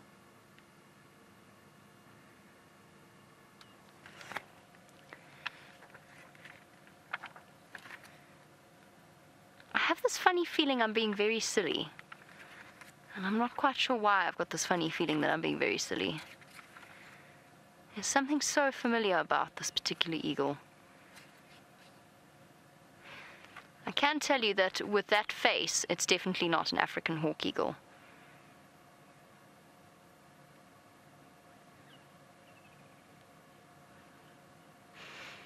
So, Julia, you said the juvenile martial. That's what I was thinking. That was my first thought, and then I said I wasn't sure it was big enough, but I thought I'd seen one earlier. Dave, I think this is the same bird we nearly stopped for earlier. It's actually, now that I think about it, it's, it's directly in the line that we were in from before. A juvenile martial, the funny thing about juveniles is they can always be a little bit tricky. This is, that's where I was thinking with the size, that it's too big for almost anything else but a martial. So there we go. Julia, I think I'm on the same page as you. I think it is a juvenile martial, and I think that crest, with the wind blowing it up, is what we are looking at. But where? I'm just trying to find it in my book so I can show you. Juvenile martials have a great deal of white on them. But it would be wonderful if it was a juvenile martial eagle. I have not seen one of those in quite a while. Isn't it beautiful? I think it's a juvenile on its way to getting the adult martial eagle's plumage. I think that's exactly what it is. And I think it's the same bird that Dave and myself stopped for earlier. And remember, I straight away said a junior, juvenile martial eagle. Now I've overthought everything, but it is. It's a juvenile martial. I'm pretty sure that's what it is. The problem is, Good. So Brent is on the same, I'm not quite sure how, but Brent is agreeing with us. Brent agrees. It is a juvenile martial. I'm impressed. Um, it just hasn't quite got to the point that it's got that darkness. I mean, that it's it's in between. So if we look at our juvenile martial here, here's our juvenile martial. Very, very light in color. So it's a very light colored bird. However, there, of course, is the adult plumage, and I think our one is coming in between here. And did have a very, very short gape here so the, the sort of the distance that the bill extends, and the adults do have yellowish eyes. And I think that this this is a juvenile martial that is well on its way to getting its adult's plumage. Now there we go. We have our answer. And well done for Julia for sending that through. It is a juvenile martial eagle. How lovely. That is a relatively unusual sight. I can tell you what is not an, an, unusual sight is the sight of James lying on the ground. Let's go and see what he's up to. I'm attempting the posture of Cleopatra. How am I doing, Brian? Mm, great. Camera loves you. Do I look like Cleopatra?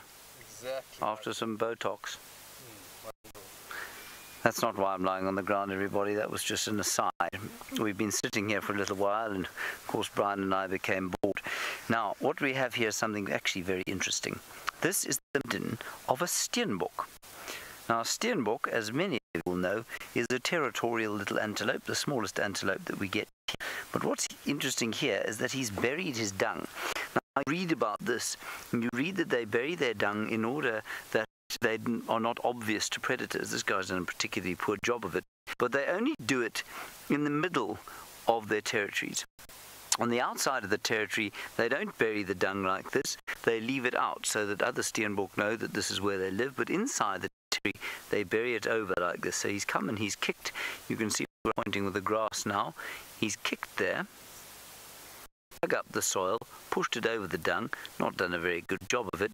This happened right now. And in fact, we saw Steenbok running away from the spot just as we came up towards it. So I think that's rather interesting, don't you? And it smells. Well, it smells like goat dung, basically. Brandon, you've asked a very good question, and it's one we discuss quite often, and one that I'm not entirely sure. Ah! It's a thorn in my bottom, Brian. I'm going to stand up now.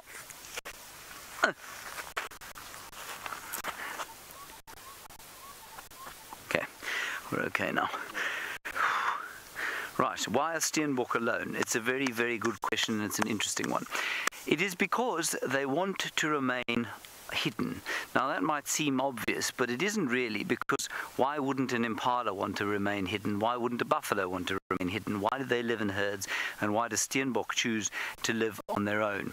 And the answer is because once you are above a certain size, say bushbuck sized, it is to your disadvantage to be in a group because even though you might have extra vigilance, you're still too, it's still more effective to stay on your own. You are detected far less than you are able to see things. So, to put it another way, if you're big like an impala is, the disadvantage of being more obvious to the predators out is outweighed by the advantage of the greater vigilance. If you're very small like a steenbok, the disadvantage of being more obvious to predators if you're in a group is um, outweighed by the advantage of living on your own and being able to hide. Does that make sense?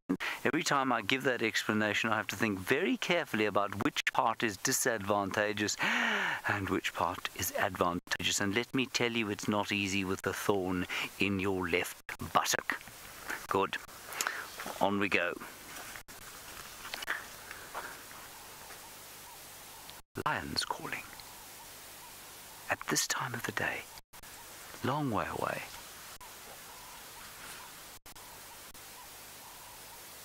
Ooh, ooh, ooh.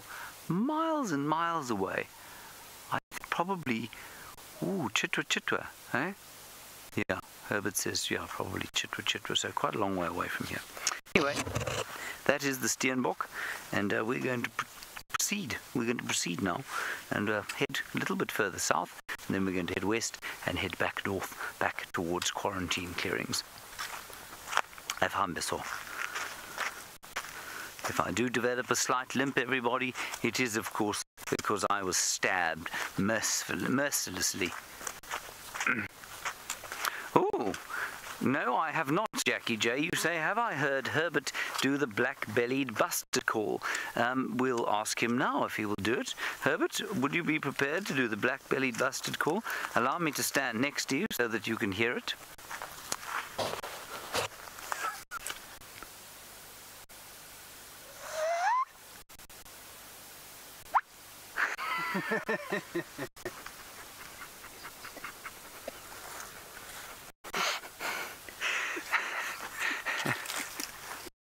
Thank you, Jackie J.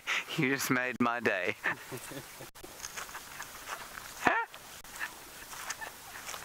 that, is, that is fantastic.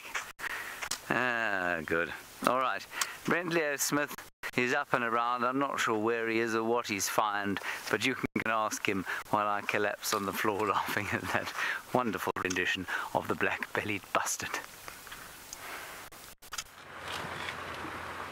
Well, we ventured off Djuma onto Arathusa. Just going to do a quick check around this area. We did have shadow not too far away from here a few days ago, but in Djuma. So I just want to check up towards Knobthorn open area, uh, maybe down towards Red Dam, and uh, maybe we will have some shadow luck. She has been uh, quite elusive over the last while.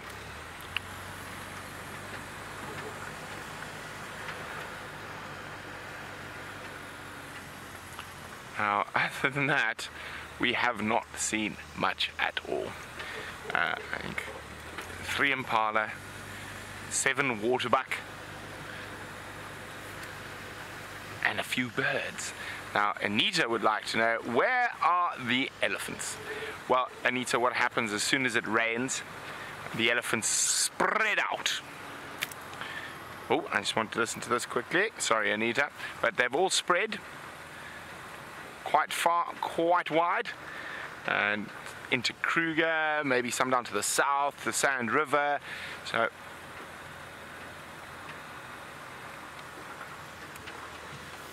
sorry, I'm just listening to the Game Drive channel. So they're, they're very wa- spread out and they're, they're quite highly mobile, and they'll be following where the different rains are. Afternoon stations, uh, Brent crossing from the north. Any updates for the afternoon?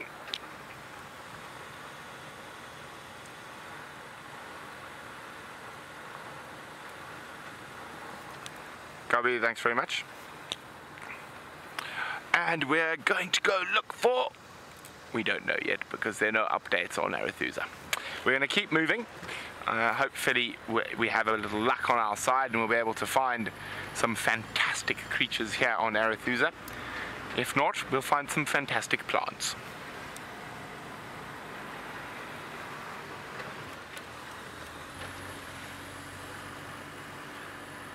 Now, I haven't been to this area around Knobthorn Open for quite some time. I was hoping maybe there's some wildebeest here today. But it's not looking like it. Not even a lone bull so far.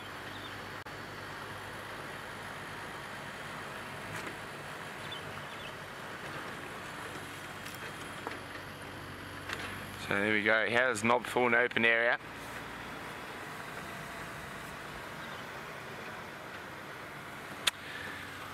Hi, Harry. Harry would like to know how I came to have this job. Well, Harry, it's it's a quite interesting story. So, I mean, I've worked and lived in the bush most of my life, and I just finished a, a stint in in Gabon in Central Africa, and I came back to do private guiding again, and I was doing private safaris for different guests all over Africa, and I and uh, got a phone call from uh, Monsieur Graham Wallington, and uh, he was looking for uh, guides who could possibly present as well, and I'd been recommended to by two different friends of mine who happened to also be friends of his, and uh, I came on an interview. I said three bad words in one interview, naughty Brent, but I managed. I'm still here, and uh, that's sort of how it happened. So the sort of private guiding went to the back seat, and now nearly two years down the road, we're driving around live in the African bush, and uh, it looks like Arathusa is having a a bush dinner tonight, and I can tell that by uh, when you find a great host of chairs out in the middle of the bush. So what will happen probably what what's the time? Yes, in the next half an hour or so, the chefs will descend, start the fire, set the table, and uh, everyone will get to enjoy a lovely uh, dinner out in the bush. Now, for the guests staying at the lodge, it's normally a big secret. They don't know about it. So when they think, oh, it's time to go home, they drive through and there will be lanterns and whatnot spread through all the bush, and it's generally quite beautiful.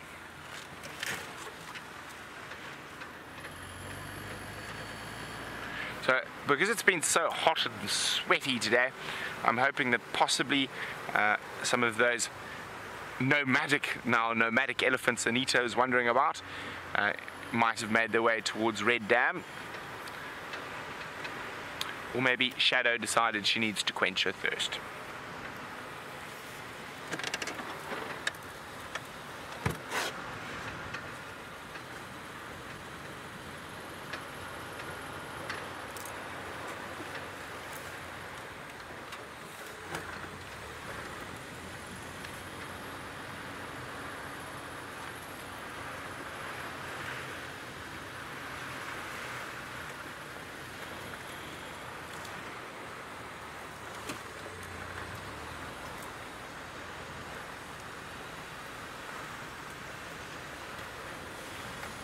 Jane. Jane says, do I know where the woolly neck stork nest is located in Arathusa? She'd love to see it. I'm afraid I don't, to be honest. Uh, hopefully it's around Red Dam, I think, or have a look at some of the big trees there. Mulwanini. The Mulwanini isn't on Arathusa. The Marakeni is. Uh, so apparently it's in the Marakeni drainage, and at the moment, I'm afraid, uh, it's one of those areas that's giving us a little bit of technical difficulty. So uh, I would also love to go see it, but I don't think we're going to be able to today.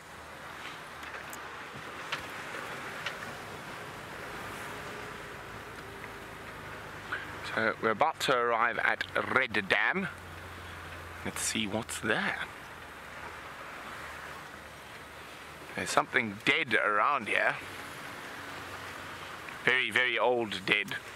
But uh, while we make our way towards Red Dam, uh, Jamie's got another feathered friend.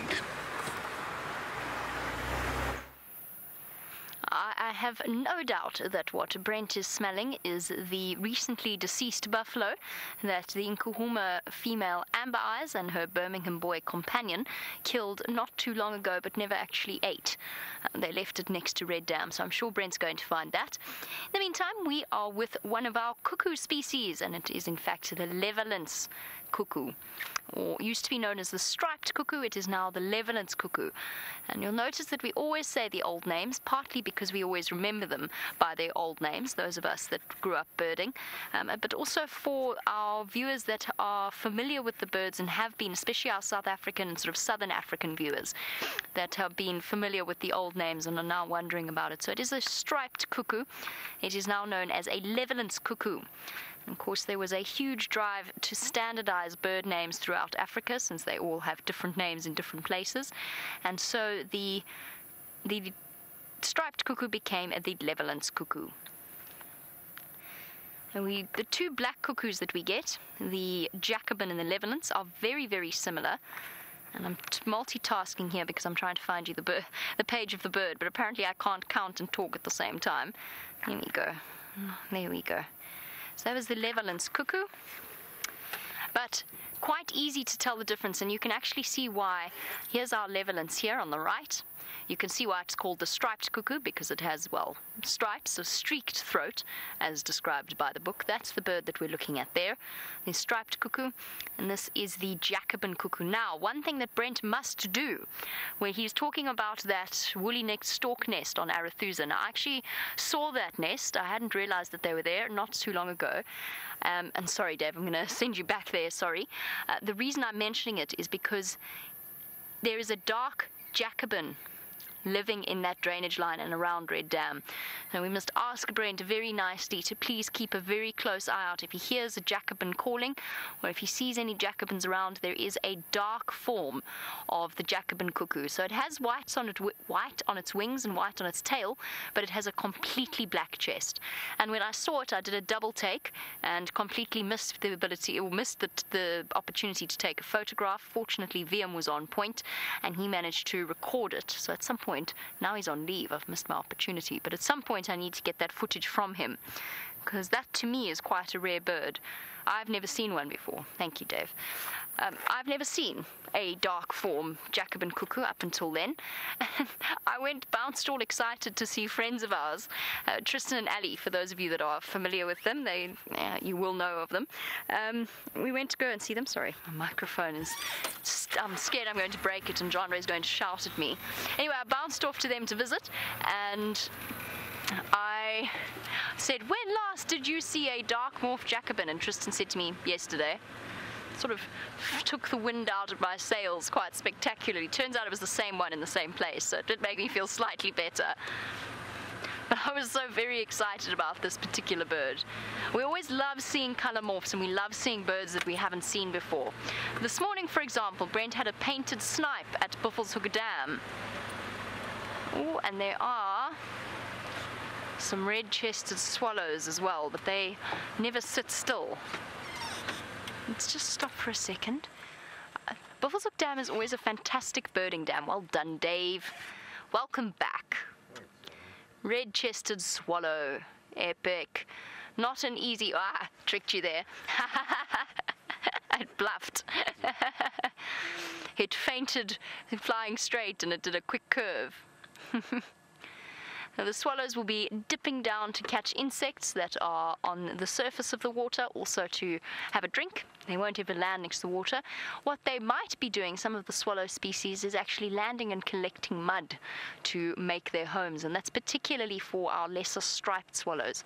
Right, let us go and see if we can see where this painted snipe is. I'm hoping it's still here. That would be very convenient. So, Dave, we're going to keep our eyes peeled. It was on the far side of the dam. I do enjoy Buffelshoek Dam. It's the only place I've seen a purple heron before. That was a while ago, though. Of course, there was the Squacco heron with Byron at Djuma Dam. But I fear my hopes and dreams have been dashed. I'm devastated. There is no painted snipe. Unless I'm completely bonkers. But I don't think I am. I don't think there is one here. Oh well, I think what we should do, since there is no painted snipe to keep us entertained, I think we should head over to James, who's got a close up view of some ants. Well, I don't have a close-up view of a painted snipe, everybody, but what we do have there is ants devouring the fruits of a plant called Schotia capitata, or the dwarf boer-bean. Boer-bean, of course, means farmer's bean, and they very closely related to Schotia brachypetala, which of course is the weeping boer-bean, which is that's why the plant gets its name. The weeping boer-bean, of course, weeps sap, and they used to use these parts of the plant for coffee. The Boers did, the farmers. Uh, very poor coffee, I imagine it was, but I don't think the dwarf boer-bean's ever been used for the same thing. Those ants are absolutely devouring the fruits, and it means that this flower, or the, the plant, must have flowered, I know, probably about three or four weeks ago. And then everything has been fertilized, and they've produced these rather gorgeous fruits. Now, the plant, the ants, I can actually identify. This is our own friend, our old friend, Polyrhachis. And Polyrhachis, Brian, as we know, tastes like a Um, but no. le, le, le, Pancakes. no, no.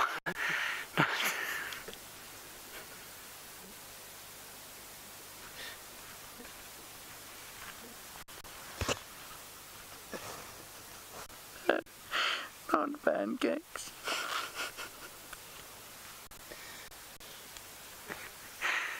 They taste like lemon drops, everybody. They don't taste any- anything like pancakes at all. Thank you very much for that, Brian. Right. I was going to give you one, but I'm not anymore because clearly your mind is not on eating Polyrhachis the lemon drop, and rather you want to eat pancakes. Okay, come on. Let's get out of here. Uh, we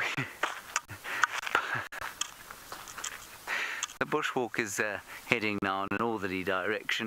We were hoping to pick up tracks of Hosana somewhere in this little drainage system here because we didn't think that he had crossed the boundary south with Karula and Xongile this morning, and so we were hoping that maybe he had gone a wandering up here, but we haven't as yet found any sign of him. So we've sort of changed direction now. Oh, wonderful! Another gorgeous question from the world's either best or worst Twitter handle, depending on your opinion. This, I must just stop and address you. Tormented zombie owl. Let's just take a moment to appreciate that. Good. Tormented zombie owl, you want to know why it is that I'm wearing a sock upon my person. Well, Tormented Zombie Owl, this uh, sock has a very interesting story behind it. It was, in fact, given to me when I was the Master of Ceremonies at a wedding not too long ago, and um, its partner fell by the wayside. And so I thought, well, this is a very good sock to use for the purposes of an ash bag. Now, you can see the ash there coming out. You see it, Brian? And what that's doing is telling us which way the wind is blowing, tormented zombie owl, and in this case, it's hardly blowing anywhere at all. So, it's only important really if we're tracking something like a rhino, or an elephant, or a buffalo, or lion, or a leopard, or something like that, which would pick up our scent. So, if we would, King would check the wind every so often, and if it was blowing towards where we were going, we might, if we thought we were very close, change direction so that the wind didn't straight towards the animal. That's why we carry it. It's an extremely effective way of telling which way the wind's blowing because our noses are massively insensitive. But you can see from the ash here which way your scent would blow. Right, tormented zombie owl. Let's carry on. See, Brian, I'm a tormented zombie owl.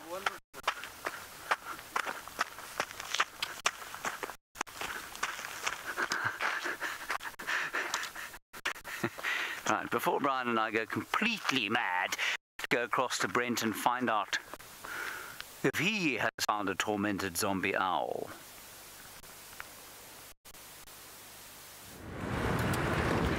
We're in a rush! We're in a rush! Copy, thanks, Andrew. I'd like to join you. So, Affirm I'm coming from Impala Plans. I wonder what we're going to see. Chandre thinks it's wild dogs, but he's wrong. Oh, I would also be very happy if it was wild dogs, but it's not. It's something else entirely. A Yeti. No, the only Yeti on Safari Live is on the back of my vehicle, and its name is Chandre. My pleasure. Uh, remember, hashtag Safari Live questions at wildearth.tv if you have any musings, ponderings, or questions for any of us. We would love to hear from you. Also, don't forget to tell us where you're from.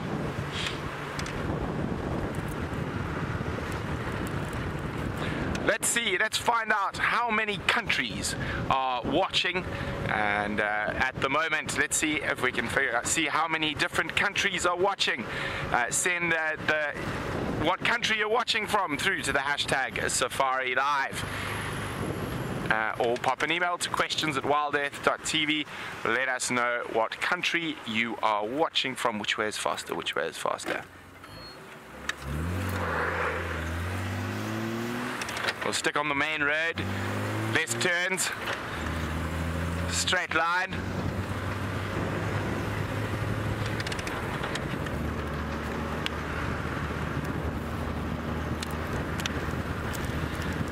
Now, even though the cloud cover has come over, it is still very, very warm.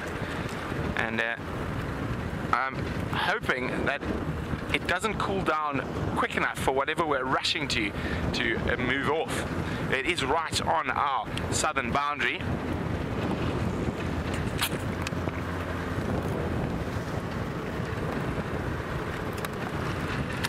Ah, James Dungan would like to know, is it Anderson male leopard or is it quarantine male leopard? It is neither.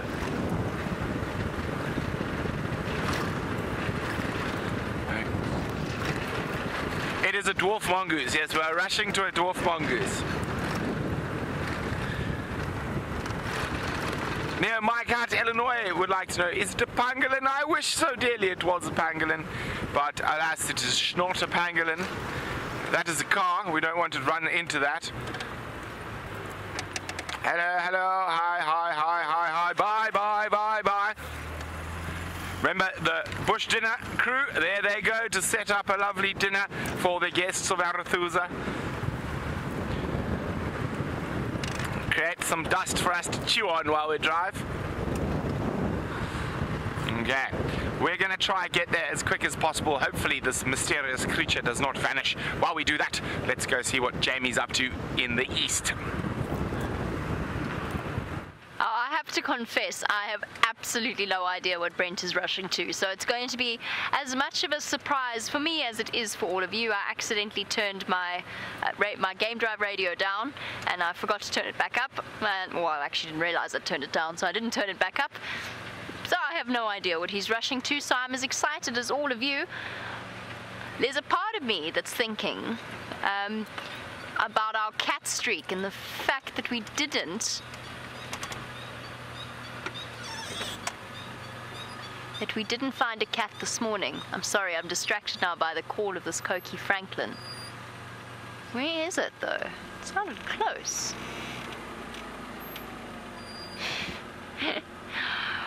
Herbert once told us while we were on walk that the francolins, you can set your watch by a francolin call. What time is it now? 5:52 not quite Herbie. He said that they call every uh, every on the hour and then at quarter past and then at half past every quarter of an hour. Um, and then he'd keep we'd keep hearing francolin calls and he'd go, There, you see, you see and it would be some random time, like twenty two minutes to five or something. I have no idea where this coqui francolin is. It was chirping merrily away, but I can't see it. They usually call from the top of termite mounds, like the black-bellied bustard that um, Herbie was herbit- Herbie was herbitating. It's a new word for imitating. Herbie was imitating a little bit earlier with James. I'm not sure what Herbie was herbitating means. That's a whole new description for what Herbie does. Look at this hornbill having a dust bath. Having a marvelous time. Don't stop, please. I love watching them do this. It's always thoroughly entertaining. And they don't do it for very long, but they do coat themselves in sand and dust. Oh, and we're done. Hop, hop, skip, and jump back to lunchtime. A red-billed hornbill. For those of you who are new to these safaris, one of the most common birds that we will see. Also, one of the most entertaining. If you have the time to sit and look and watch what they get up to, I do wish you'd carry on dust bathing. What he was doing there was eh, sort of it, it seems like an oxymoron i think to say he's having a dust bath as we tend to think of baths as a way of getting clean. And in his own way that's exactly what he's doing is actually ridding himself of or herself i suppose although it, it, it's most likely a he at this time of year hopping around foraging. He could be looking for food for his nest mate um, so what they're doing is they're using the, the grit, much like you would use an exfoliator in a way, to and he's not aiming for dead skin cells, but he is using it as a way of scraping away mites, pepper ticks, parasites, fleas. Feathers are can be a very dirty thing. So he's got to make sure that he keeps his in pristine condition. So by shaking the dirt over him, it will dislodge some of those parasites. And quite frankly, I actually think they just enjoy it. I think it feels good much like that. A jolly good scratch. Whoa. Nearly fell down there. Dave, remember our red-billed hornbill nest? I do. You remember that on Twin Dams? We never saw him again. I don't know. I mean, I, I have stopped there many, many times, but I think my timing's just been off, and he hasn't been around. I'm sure they're fine.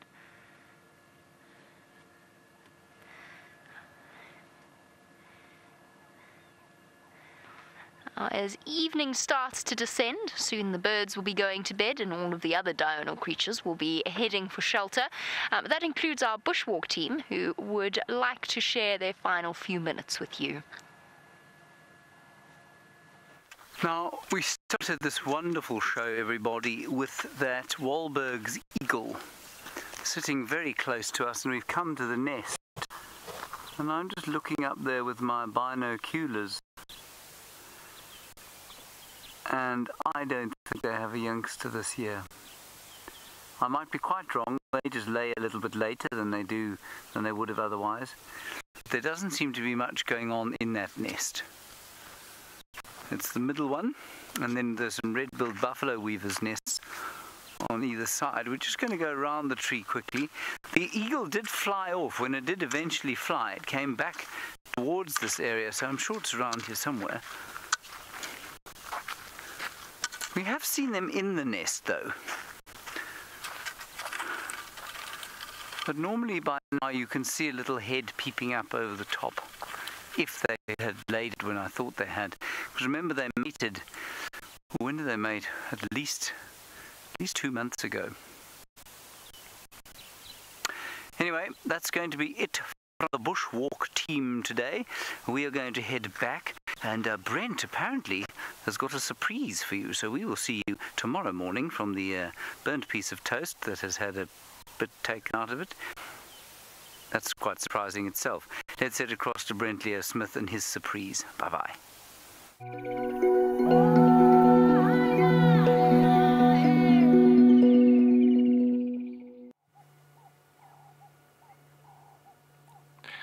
And it is the little prince, the little chief, Hosana. Hello, boyo. Looking hot but fat. Now, Xongile and Karula were seen a little bit to the south, not far from here.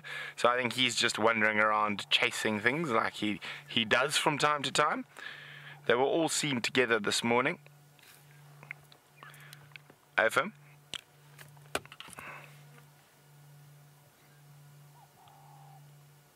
There he is. You can see how heavily he's breathing from the heat.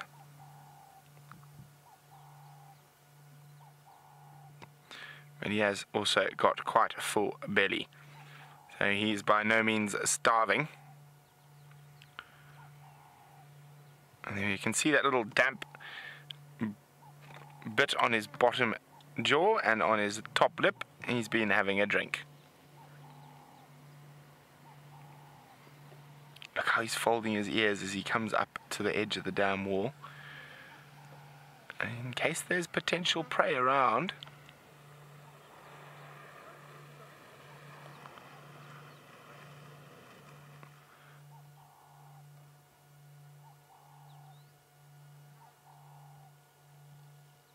What you spotted? He's having a look, seeing if there's any squirrels to chase.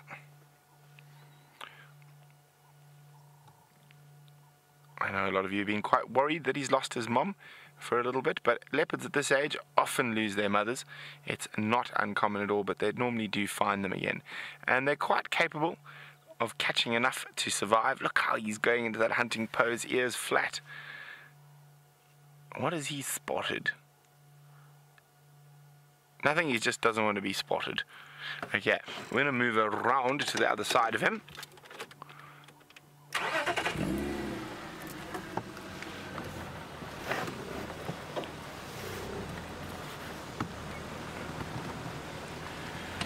So we've got Netherlands, Sweden, France, Australia, South Africa, and of course the US. So it sounds like we've got someone from everywhere today.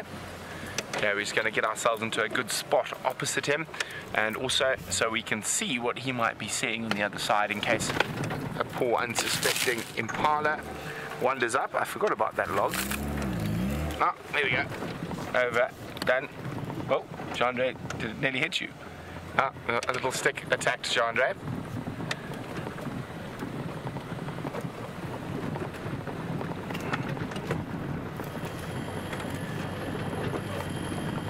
Okay. Now, Xongile was seen probably about four, 500 meters from here, just to the, the south of us, outside of our traverse zone. But Mr. Hosana is on the move.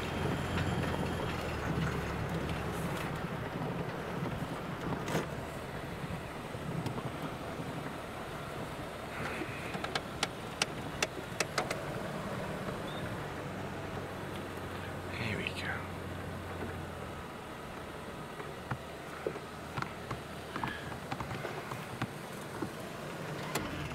Here we go.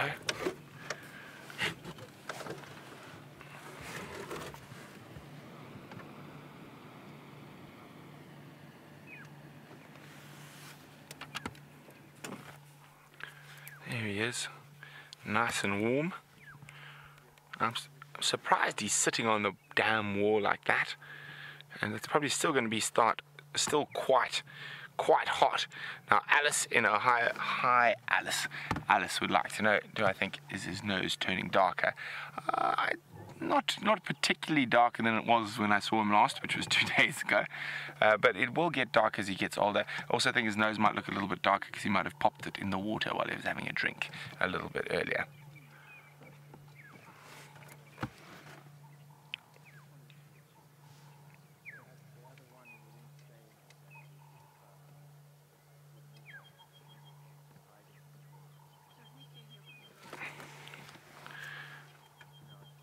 Ah, He's getting very big very quickly. Still not quite the same size as Karula just yet. Yes, he is, his nose looks like it's got a bit of mud on it. You're putting your nose in the mud, you silly boy. He's tired now. It's tough chasing squirrels and dwarf mongooses and francolins.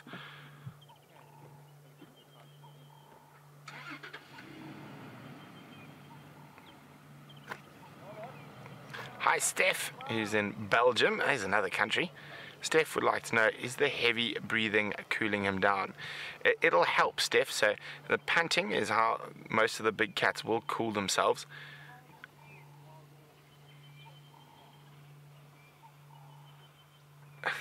but the ground is so hot he's getting up and moving constantly so what happens is he's got lots of blood vessels in his in his in his mouth and particularly in his tongue so what he does is he faster he breathes over it uh, the quicker it will transport that cooled blood around his body.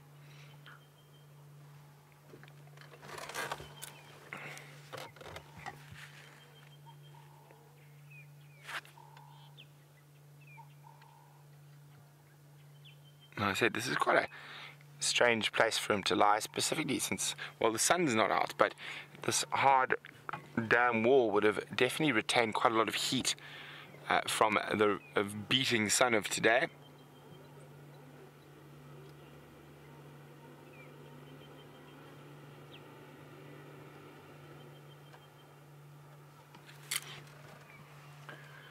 Uh, the reason we rushed here so quickly is because Karula is still in the south, so he might quite easily pop uh, back down to the south quickly.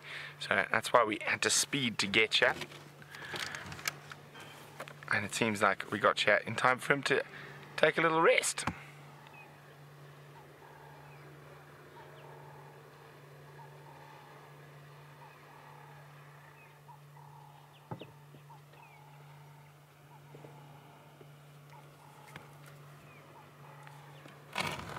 Uh, he is going to grow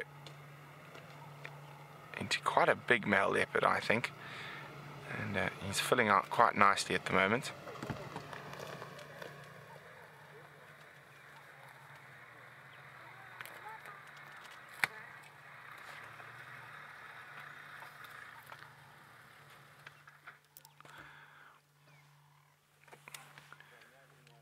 So Ephraim's just arrived. I was just waving hello.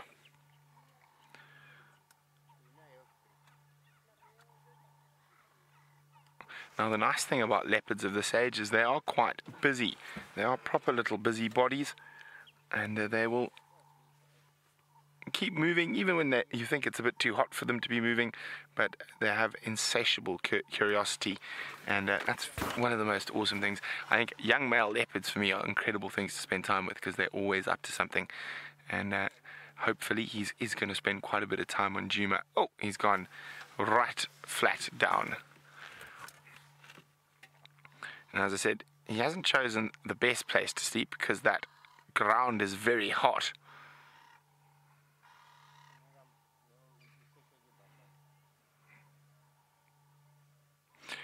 Well, hello, D from Delta.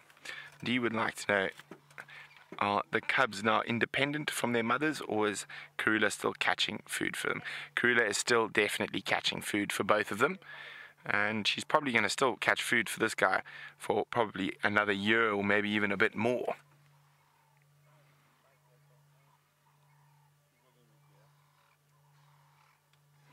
I wonder how long he's going to be able to last on that hot ground before he decides to move again. Last time was about four minutes, I think.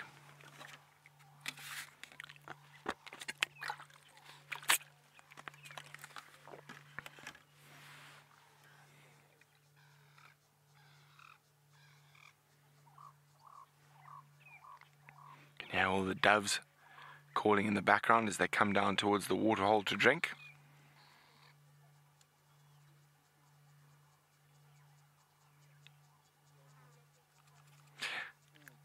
Hello, Sophie.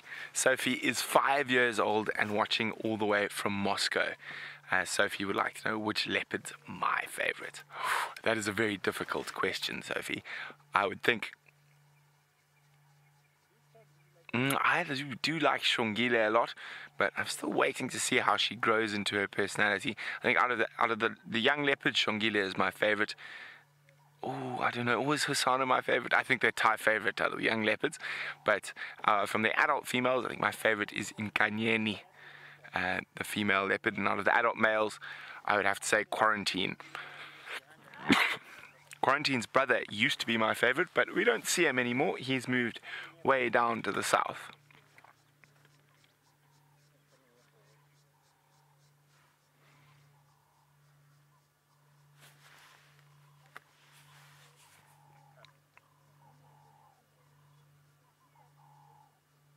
So while he snoozes, we're not going to move a muscle. We're going to stick here with him. Uh, but in the meantime, let's go see where Jamie is and what she's up to. I'm actually going to skim past Brent just to give you an idea of where we are. I can actually, I think I can see him. Yes, I can, I can see him. There we go. Whoopsie, sorry. I accidentally moved forward there. There is, sorry, Dave. That wasn't, that wasn't Dave's. That wasn't Dave's camera work. That was um, my moving forward completely unexpectedly. Sorry, sorry, my mistake. Now, um, you were talking about, or Brent was talking about favorite leopards in answer to little Sophie's question. I was thinking about mine. You shouldn't really have favorites, and, and it's difficult to choose. I'm, it's difficult because, of course, we see the lovely Karula and her gorgeous cubs. We see them more often than I think we see any other leopard. And I'm just going to stop here and see, while I talk about this, whether or not there's anything living in this dead leadwood. Is there anybody home? Such a perfect hidey hole, so many perfect hidey holes for nesting birds and squirrels and lizards and snakes and all sorts of things, and of course, none of them are here. But it was a nice idea. But unfortunately, I don't see anything living in this particular ancient, ancient tree that actually gives the road that I'm on, which is Leadwood Road, which actually gives the road Leadwood its name. Right, favorite leopards. I, I've spoken about this before. I think my favorite leopard, my favorite female leopard, is Thandi. I don't know what it is about her. There's just something that I really, she's tiny, she's very spirited, and I think it was cemented when, not that Karula wouldn't have done the same thing for, for her little ones, but the way in which she courageously rescued her cubs from that baboon troop that we all saw unfold live in front of us, I think that that was probably my favorite moment with her, and that really, it was a a particularly impressive moment watching her problem solve and watching her think about how it would be that she could actually save her cubs and holding back, not running too fast, despite the risk to her own life while that male baboon was chasing her and basically distracting them, pulling off the road because there is a vehicle, a civilian vehicle approaching, and I'm just going to wait for them to come past us and move on. Males, I can't choose. Uh, males, it's a difficult one. I, I, have not actually spent enough time with any of the male leopards apart from Tingana, so I can't really, you know, I can't by proxy say that he's my favorite male leopard. There we go. We'll just wait for the, the dust clouds to settle. I, I must say that Xongile is going very high up there in terms of my in terms of leopard characters, and we of course all love Queen Karula. Uh, that that is an obvious. That's a given. Dave, what about your favourite? Oh, hold on, we're going to wait for Ephraim to come past too. well, we. quite like quarantine. Quite like quarantine. Yeah, he is gorgeous. I've only spent, I've only had a few brief sightings with him. Hello, Ephraim. How are you? Hi, guys. Sweet. I think that might have been a young family member there. Right, I'm going to carry on and I'm not going to. Oh, sorry, I thought you were a fly bug. Um, I'm going to carry on and see what else we can find. In the meantime, let us head back over to Brent and one of our favorite leopard characters. Well, his head's up. He's looking down to the south where his sister and mother apparently are.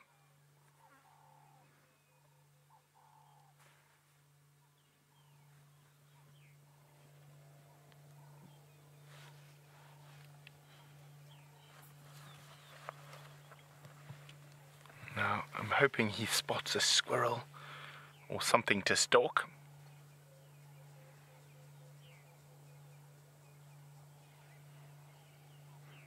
Now, Alina's wondering if a leopard breaks its whiskers or lose them, do they grow back? Uh, I would expect they do, Alina, like the rest of their, their fur. They will grow back, maybe sometimes not as long as before, or maybe sometimes longer. So, yes, they do grow back.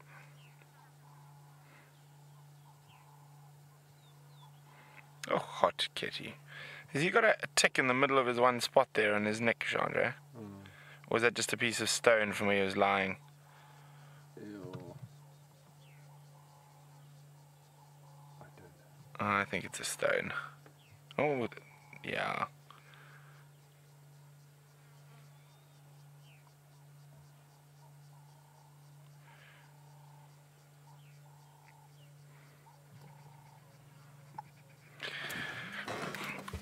Hi, Jen in Missouri. Jen's wondering, would that this young male leopard act any differently if he had no clue where his mom is?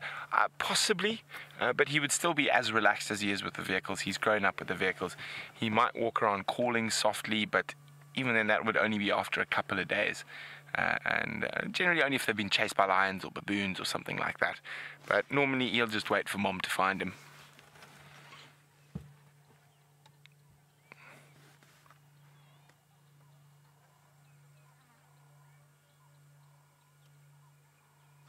I hear some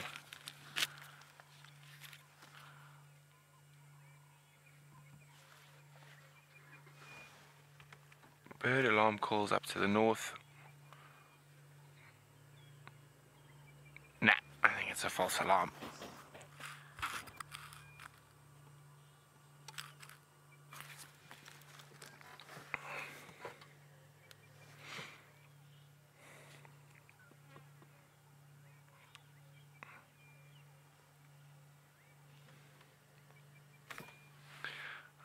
Hi, Stephen in the UK. Stephen would like to know Does a leopard's tail serve a purpose? Indeed, it does, Stephen. It helps them with balance, number one, and also that white fluffy tip is a wonderful following mechanism for young leopards to follow their mothers.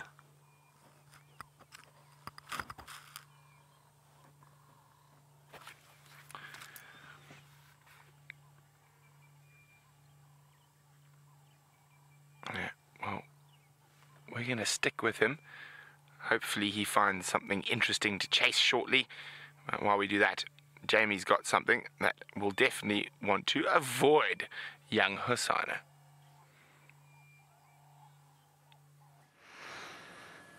Hoppy, we have found a mammal, Dave. Uh, we are doing remarkably well this afternoon. We've our mammal species seem to be hiding away from us today. I feel as though we're just having one of those days where the animals are completely evading us.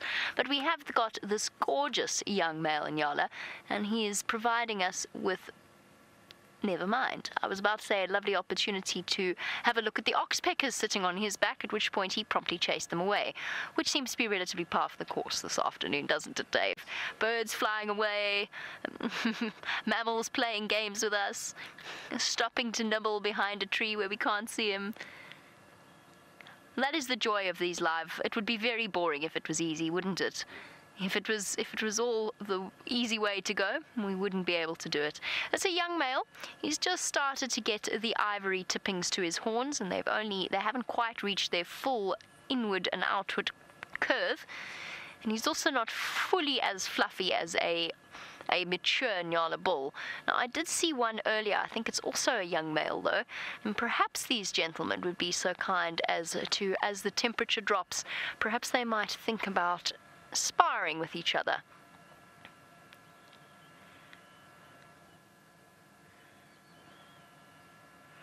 Here we go. Tails flicking. Sorry, uh, just bear with me one moment. I just wanted to I just want to hear something again on the the, the game drive comms. Uh, from for Jamie.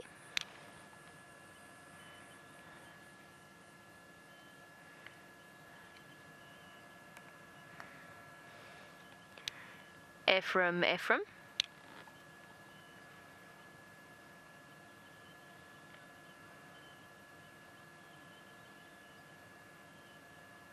Oh well, that's fine.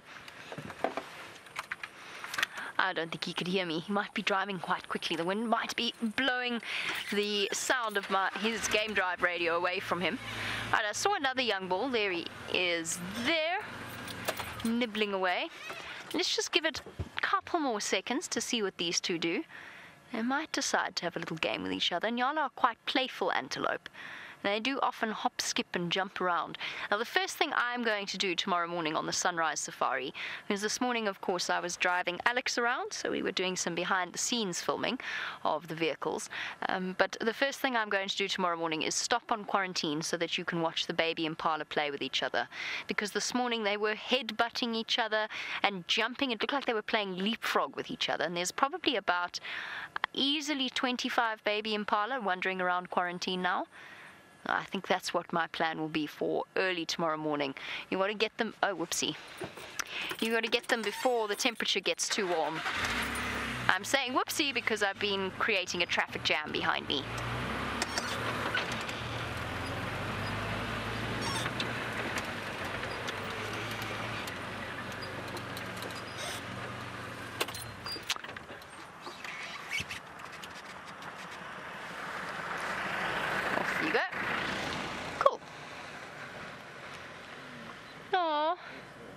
don't either. Sorry, Dave. That's because they I've parked us in a place where you can't see them. That is not your fault at all. They have actually moved into the dense vegetation of this drainage line. So they're hiding away.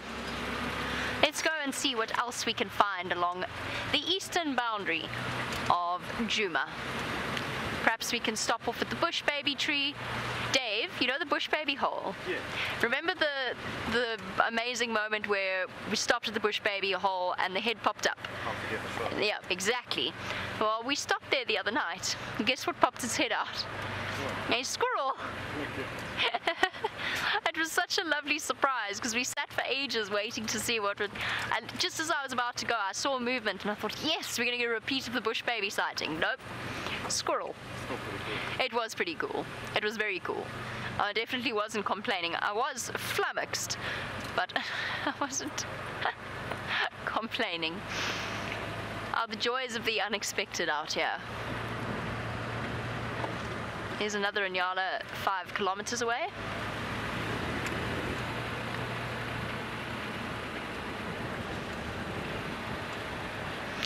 Virginia, you wanted to know if I have seen Fang's herd and the little baby that we saw that was a few hours old. And just to give you some context to this, uh, for those of you that missed those that particular moment, I know not all of you can watch every day, although I'm pretty sure most of you have heard about it by now. Brent actually found a placenta, fresh placenta, from an elephant, and we just happened to be in the right place at the right time, and this little baby elephant came stumbling out of the bushes, still wobbly on its legs, still coated in afterbirth and various mucus substances. It was the most amazing sight. One of the most amazing sightings I've ever had. It actually left me re- really emotional, and I haven't. I, I know Taylor did a couple of days later. I know that she saw Fang's herd and that tiny baby. I haven't seen it since, and in fact. I was saying to Dave earlier, since I came back from leave, which was about four weeks ago, I've had one really nice elephant sighting, and that was in Buffelshoek um, when we went to go and visit some friends, and was a big old bull. I haven't seen elephants properly since. It, it's actually quite sad. I feel really, really bereft of the company of elephants. Somehow the space always feels slightly emptier when they're gone. And I mean, it, that's the way it should be. There's no fences. They should be gone. They should be where the best food is. But I do feel slightly saddened at their absence. They'll be back. We'll get to enjoy their company once again. They will. In, they will be back. It's just a matter of waiting patiently for them to return to us. All right. Guess what? Stopping at the bush baby tree, and guess what? The first thing I've seen is. It is a squirrel, Dave. a bit to the left. There we go. Lying like a leopard. Across the branch. This is my, I say it's my bush baby tree. I saw bush babies here twice, and therefore it shall forever be ingrained as my bush baby tree. Much like the other one, despite the fact that now both times that I have checked, it's been occupied by squirrels. Hello, little squirrel.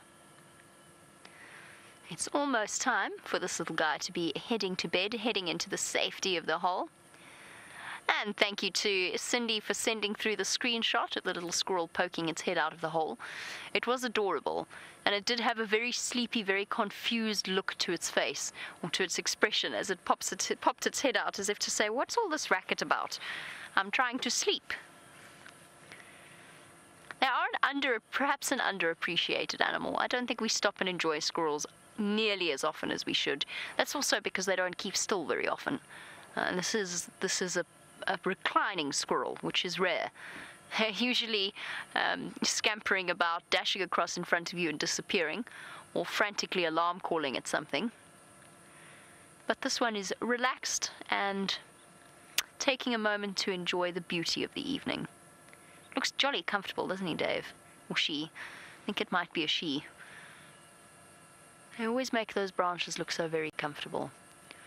There are, however, no bush babies. Bush babies and squirrels will quite contentedly share trees. They won't live in the same, they won't sleep in the same holes.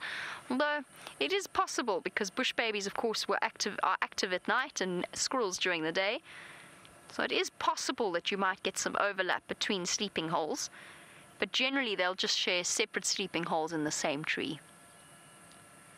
And I definitely don't see any sign of bush babies coming out. Oh well. Might be a bit. ear- No, this is actually perfect time for them to start waking up. Freya says that it is doing the mannequin challenge. I'm still not entirely sure exactly what the mannequin challenge is. Uh, Dave, do you can you explain it to me? I think you just You just freeze. frozen moment. Yes, you just everything freezes in time. Okay, that makes sense. Um, that that that makes sense. I guess everybody just goes very still. Uh, most of our animals seem to be doing that today. Uh, they're doing the mannequin challenge on account of the heat. Um, and, and in fact, I'm going to be doing the mannequin challenge in a few hours when I go to sleep. I'm not going to be moving. I'm going to be like a log. Yes, the mannequin challenge due to the heat one slightly warm. I believe that Hosana was doing quite a good impression of the mannequin challenge earlier as well. Oh, he blinked. You lose. It's like musical statues when we were kids. I can't remember if in musical statues you couldn't blink. I think you were allowed to blink. It depended on it depended on who was making the rules, I suppose. I think we should play musical statues more often. Oh. I think we should have a game of musical statues at DRC. You can see the mosquito buzzing around. Uh, it might actually be thinking about landing and having a bite to eat. We know the feeling, little squirrel. We know the feeling. There are lots and lots and lots. Tis the year of the mosquito this year. There seem to be more than I ever remember there being. Okay. Well, since our squirrel is doing such a fantastic mannequin challenge, I think it might be time for us to move off. And Catherine, you say at least he is a positive squirrel. Absolutely. Um, I, I sorry, I have a good chuckle every time. Um, after the, the negative squirrel of uh, that Xongile and Hosana caught and eventually managed to kill, a nice positive squirrel sighting is a positive thing indeed. A posi- the positive squirrel, by the way, stems from Sam, who was one of the presenters at Wild Earth. He was very much loved. And he described uh, a pet squirrel called Monty, I believe it was, as being very positive. It was a very positive. Monty was a very positive squirrel. None of us are entirely sure what a positive squirrel means, but I like. I didn't that story have a really sad ending as well? Monty was a very positive squirrel, but yes. So Monty was a very positive squirrel, but unfortunately met a very negative end. And we will always think of Sam and the positive squirrel when we stop at the squirrels. The same as the black-headed oriole. I'll always think of Sam then as well.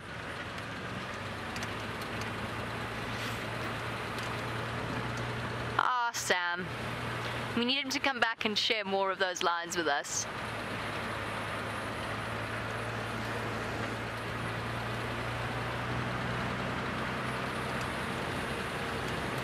Okay, where to from here? This morning, this is where Tingana kindly walked behind us over our tracks and casually padded away into Torchwood. We must have just, just missed him.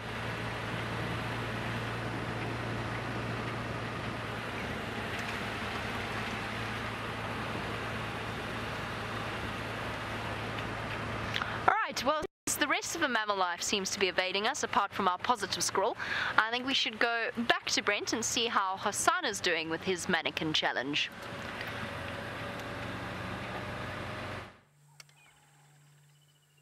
Well, young Hosana is battling uh, the biting flies at the moment, and they seem to have found him, and he's just trying to get away from them. He's going to go into the thorns.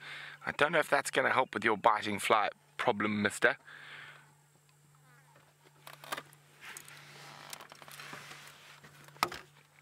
Amazing how he's able to move through those prickly branches.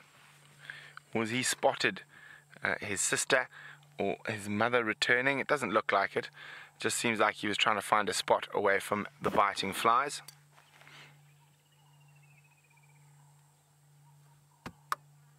And you stood on a thorn. Oh, you got it out quite quickly though. You might go down for another drink. It is excruciatingly warm at the moment.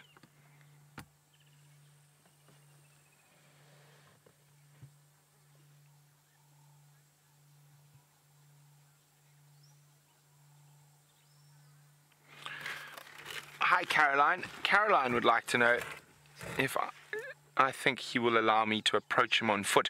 Well, Caroline, I have approached him on foot quite a few times. And as long as you don't go too close, he is quite a nice leopard to walk. But as soon as you get too close, he is going to run away. Okay, let's get down to where he is.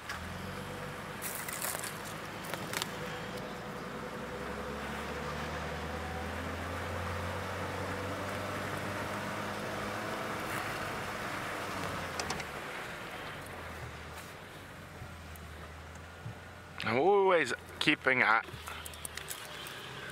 a lookout for either Karula or Xongile if they decide to wander through to join him.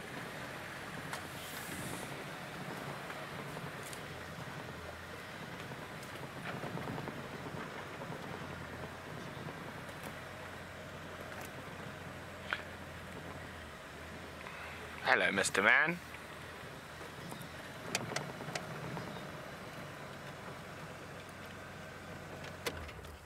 There we go. That looks a little bit more comfortable than that warm, hot floor you were sleeping on.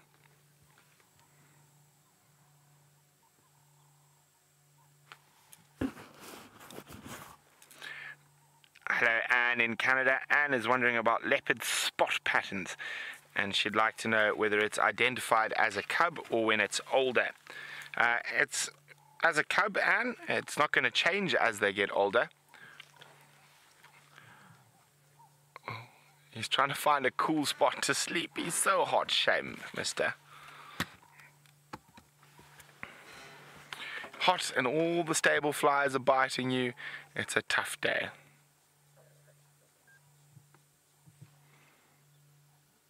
Got bored waiting for mom. Okay, it looks like he might go have a drink. Let's just get around to the other side.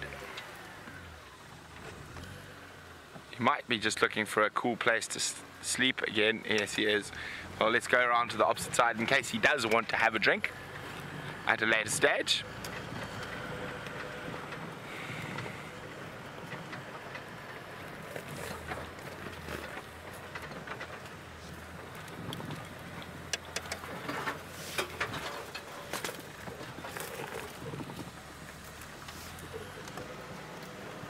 How's that, Chandra? Good?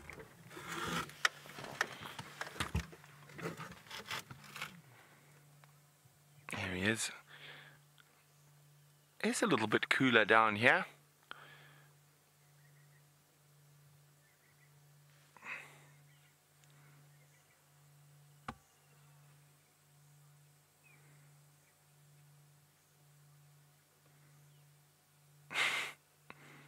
Seems he hasn't managed to rid himself of the biting flies that found him on top of the wall.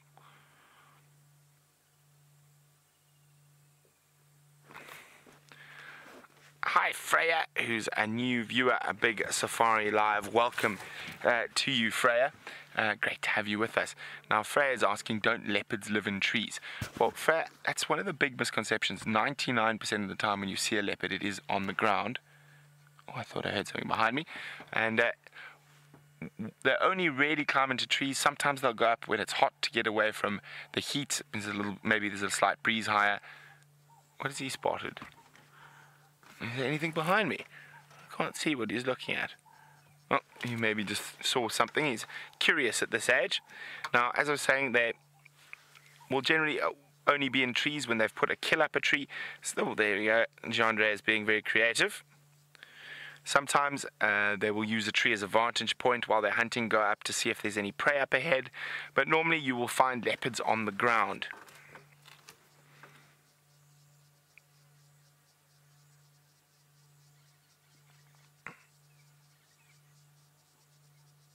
Whatever caught his interest is, is no longer catching his interest. He's gone back down. Still sort of interested. I think he's heard something. Uh, there now he's disinterested.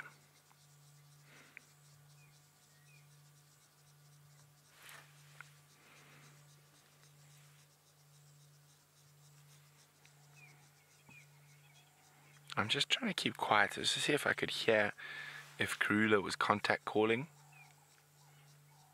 But I'm not hearing any contact calls from his mom, so she's probably still out hunting.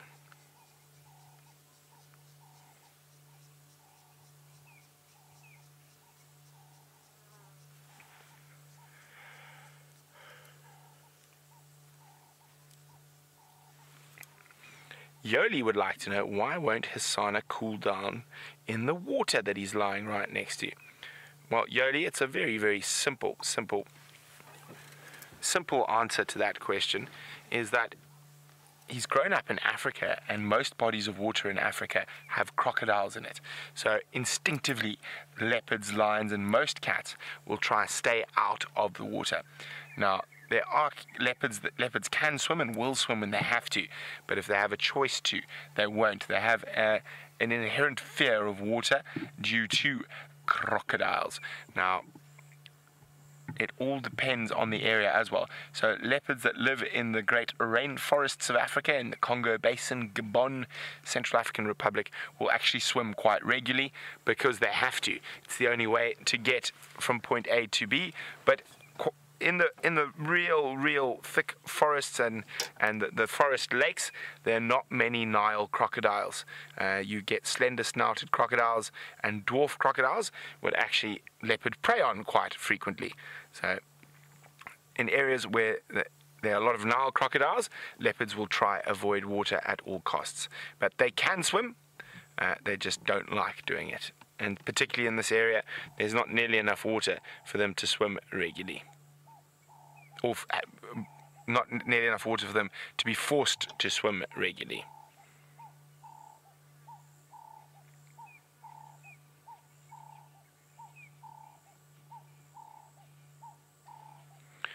We're going to sit here, see if his sister or mother arrives or if he disappears.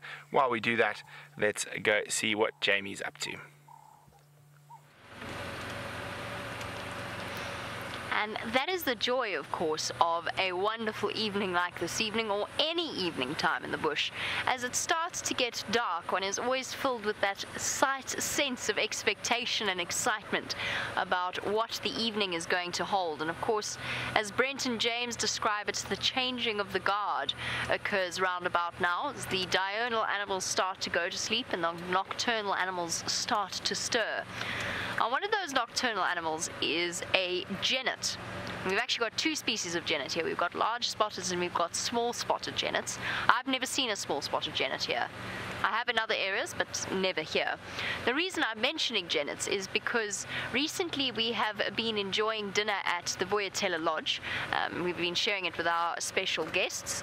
Not sharing the lodge, we've been moving and having dinner with our special guests there. And there is a genet that lives in the roof. And the genet that lives in the roof, very often you look up at breakfast and you can just see the tail dangling down from the gap in the thatch. But last night, no, the night before last, uh, this particular genet decided to descend whilst just before we were all about to have dinner. And it went for a little walk along the table. It's completely used to people. It's a, it's a genet that's become habituated to people in the lodge. It's not a pest, it's not a danger, and it's not dangerous to it. If we would try to approach it, it would run away. But it gave everybody the most amazing view of this genet as it stalked along the dinner table with delicate steps. A genet, by the way, looks like I always think it looks like a mixture between a, a mongoose and a cat, a domestic cat. It's a, it's a long, strange looking animal that is actually in its own family completely closely related to mongoose. Or at least related to mongoose if you go back in the evolutionary line, but it's not a mongoose and they're very, very pretty animals. They've got very striking st- spotted markings. Anyway, this particular genet proceeded to give us an amazing demonstration of its climbing skills, weaving and bobbing and weaving inside and around the the thatched. It's, it's a thatched roof, so it's it, it's sort of curved upwards with wooden beams that run along the top of it. Let's go over to Brent. Okay, guys, we rushed back. Look at this. That impala hasn't even seen him, and it's going to be very interesting to see. It's a it's an adult female impala. If he makes a play at that.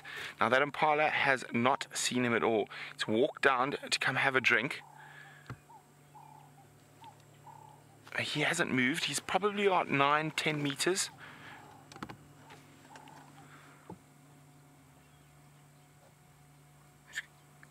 It's running towards him. It's running towards him.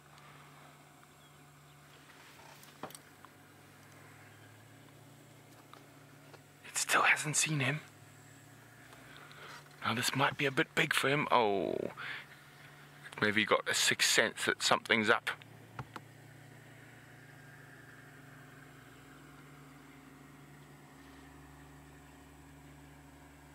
Now that Impala's still around, I can't see it. I think it's behind a bush.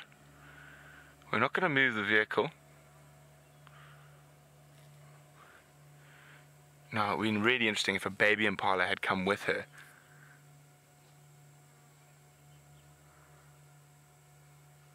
He's probably strong enough to take down an adult female impala. It might be a bit of a challenge for him.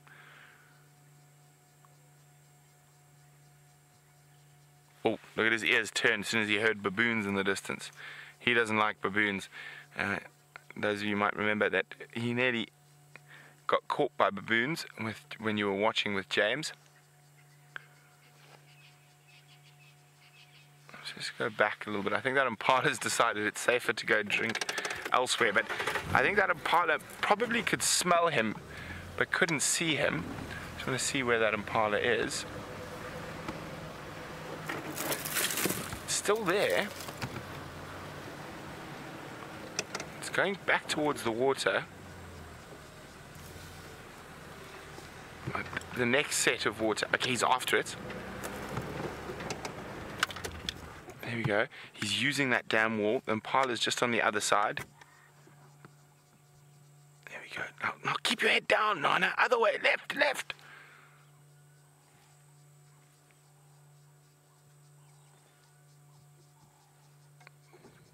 Are you gonna get spotted, mister?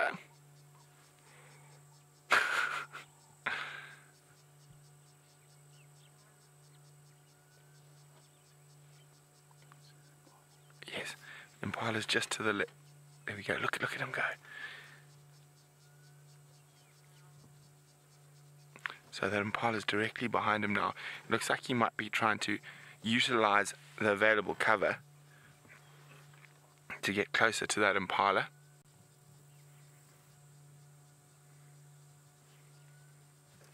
Okay, let's just get into a good spot.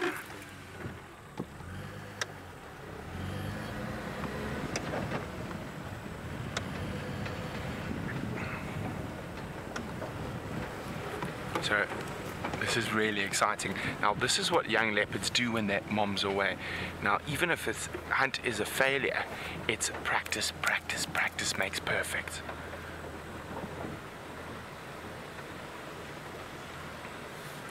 So, from his position, we're just going to drive past him so we don't attract attention to him. From his position, it's going to be very difficult now because there's only this very limited bit of cover and that impala can definitely smell something's wrong.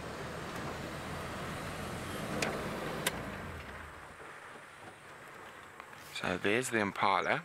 Oh, yes, there we go. Did he pop his head up? But she can smell. You can just see, she smelt him. She smelt him, and uh, I think he missed his he missed his moment when she was at the waterhole, because that was the only time he was close enough to make that pounce. Uh, see, when she ran away, he's just laid up on top of the dam wall now, given up. Maybe you should stick to squirrels for a little longer.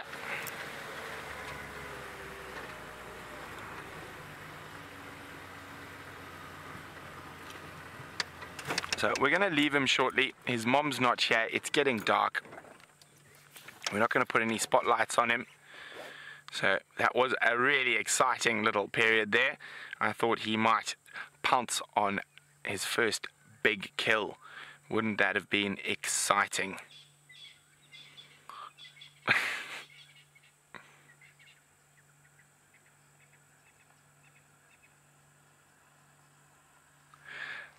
Uh, Mike says, from a squirrel to an impala, what a change in one week. Yes, I think he's probably chased quite a few impala with little success. I think he, he's definitely probably uh, very, very scary for the squirrels still. I think another couple of months before he's really scary for impala. Okay, Mr. Hosana, thank you very much for keeping us entertained. As I said, getting quite dark now, so I'm going to leave him be.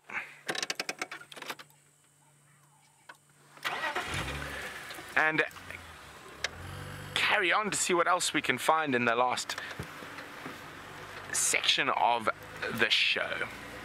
But while we do that, uh, let's go see what Jamie's up to. Well, I am busy searching for nocturnal beasties. Uh, I never finished the. Sorry, I have to. I have to finish off this genet story now. Um, but we got distracted by Hosana hunting that impala. Very courageous attempt on his part, by the sounds of it. Um, but I was telling you the story of the genet, and the reason I have to finish the story of the genet was where it was going was it wandered across the table. So I told you all about it. was climbing through the beams of the house. It wandered through the table and deposited a present on the edge of the table. It very kindly deposited a, uh, not actually on the edge of the table, sort of towards the end, but right in the middle. I'm not sure whether James looked at it for too long or something. You know, he always jokes about animals and their tendency to defecate in front of him. Well, this genet defecated in the middle of the table. And everybody just stared at it in absolute horror, as you can imagine. I just thought it was. It, it's the joys of the African bush. It doesn't matter how fancy and prepared you are. A lot of the time, um, the animals have a slightly different idea. And we've seen it with so many different things, whether it was the genet uh, relieving itself on the dining room table, or it is the moth that decides it really absolutely has to have a sip of some guest's very expensive Merlot there's always something thoroughly entertaining, or, or perhaps a, a, a, beetle flying straight and smacking somebody in the face while you're driving about at night. It doesn't matter how much you. Um, fork out for a safari, whether it's an expensive lodge or a reasonable lodge, uh, the chances are at some point an animal is going to do something thoroughly entertaining and very interesting, and hopefully, if you are in the right state of mind, highly amusing. I thought it was funny anyway. Right. Let's see what we can find. Ah. Now, Laney in Pennsylvania, you want to know what happens if lions show up for a dinner. It has happened before. It has happened quite a few times in my past. Um, generally, if it's a bush dinner, which I have hosted a few of, I think we've all hosted a few of, and a, a pride of lions show up, the general course of action is to say, would everybody please get into the vehicles? And I'm sure you, you sort of evacuate everybody relatively rapidly. I'm sure there are a few pictures of lions joining the breakfast table. I have seen from years ago. there was a picture of a, a lion that had gone up to a drink stop and was giving the gin bottle a cursory lick just to see what it tastes like. I wonder if she liked it. So yes, it does happen. I've had Lions show up at dinners. I've had hyenas are par for the course because hyenas are curious, so they're often around. Hyenas are fine though, you just chase them off. Um, as long as you spot them, they're not a problem. There are, of course, many famous Kruger Park stories. There's one where a leopard wandered into a picnic site and joined some a family for breakfast. Um, the family watching from a slightly shocked and safe distance. It then proceeded to eat the bacon off the barbecue or braai, as it's officially known. What else have I had raid dinner parties? Elephants. I've had elephants come wandering in, having a sniffer to what we're doing. I have had. What else has happened? I think those are the main, the main creatures that have shown up uninvited. It's quite rude when you think about it. They haven't been extended an invitation, but then again, we are having our dinner parties in the middle of their home, so I guess maybe not so rude. It's the joys of living in the bush. I once had mating rhinos um, join me at a at a dinner. It was we were actually doing a sleep out, so we were sleeping out underneath the stars with people keeping watch to make sure because it's very dangerous to sleep out in the open unless you are watching throughout the night. You cannot have everybody asleep at the same time. But that particular evening, all sitting down to dinner, and we could actually feel the thud of their feet. Because what rhino do when they're courting is the female rejects the male for about two weeks as she comes into estrus, as she comes into heat. And I just, we just heard female trotting past, followed by a very amorous male. And not to be deterred, the female changed direction and came running past the opposite side. and our guest sitting perplexed in the middle. It happens. Of course, most of the, oh, all of the time, we will always err on the side of absolute caution. So if there is any kind of a danger, you just get everybody back in the vehicles.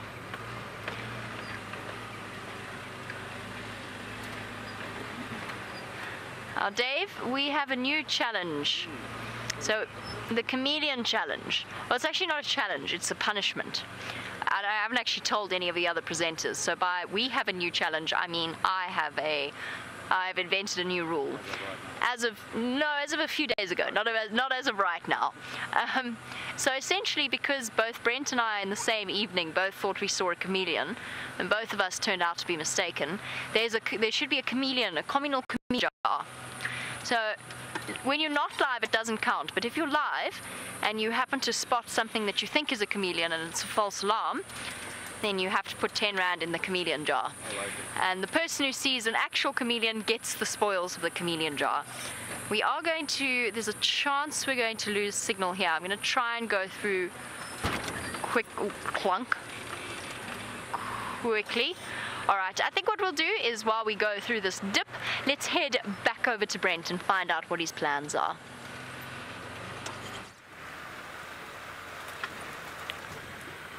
Well, we're going to keep looking for all sorts of little nocturnal creatures, although I think we need a little bit more rain to really bring the chameleons out. But the wonderful thing about being live is you never know what's around the next corner. Now, hopefully, Karula is unsuccessful in her hunting down to the south of us and comes back to the north, and hopefully, young Hosana will be in the same area on the sunrise safari as well.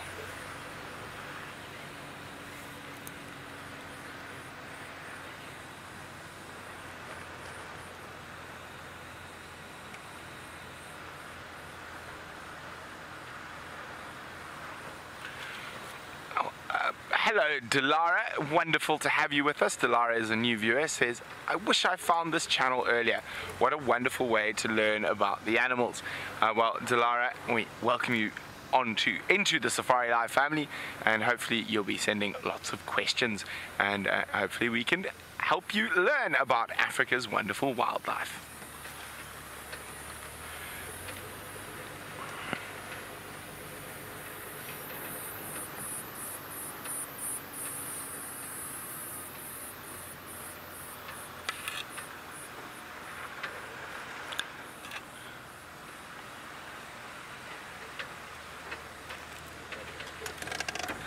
Oh, I'm scrub here. We'll just turn the lights off so he doesn't run in front of us. Have our little hare. There he goes. Now, I'm hoping maybe to find a nightjar or two.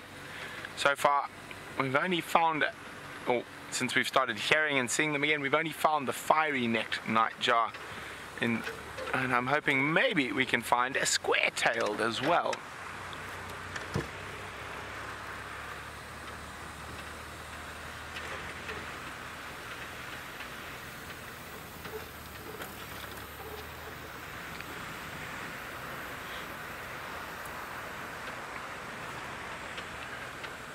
Now one has to wonder whether our hyenas are going to start coming back now that the Nkuhumas are on mobile again. And I think only time is going to be able to tell, but it would be nice to have the hyena den back on Djuma. And hello, Emmett. And uh, Emmett is Shirley's son who would like to know, do we have any crows here? Uh, we do, we don't see them too often. We have a couple of different species uh, of crows and ravens. Uh, the only crow I've seen in the Sabi Sands is the pied crow. So it's a, big crow with a white neck.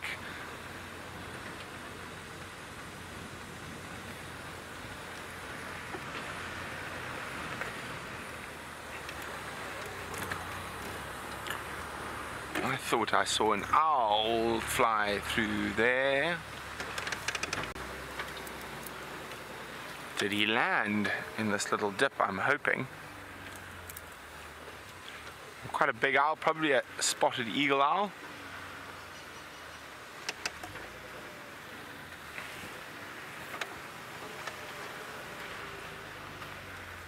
Normally at this time of the day they like to perch quite conspicuously, try catch the first little mice and things that are going to be coming out. But I just saw him fly through and I was hoping he would have landed somewhere here, like there. Alas, no sign.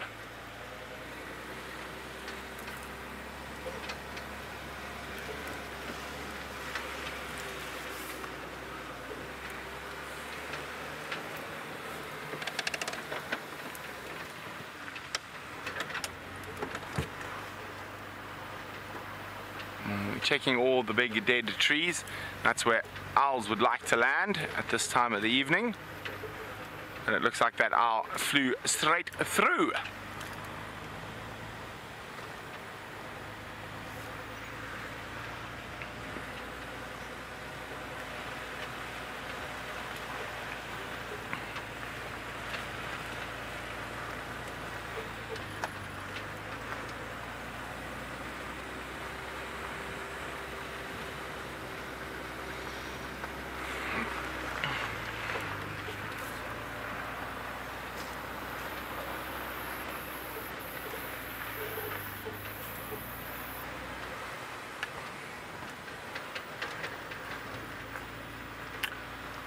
It's been wonderful having you with us on this sunset safari. Started off a little slow, but fortunately, young Hosana made an appearance. Hopefully, he'll be in the same place tomorrow morning.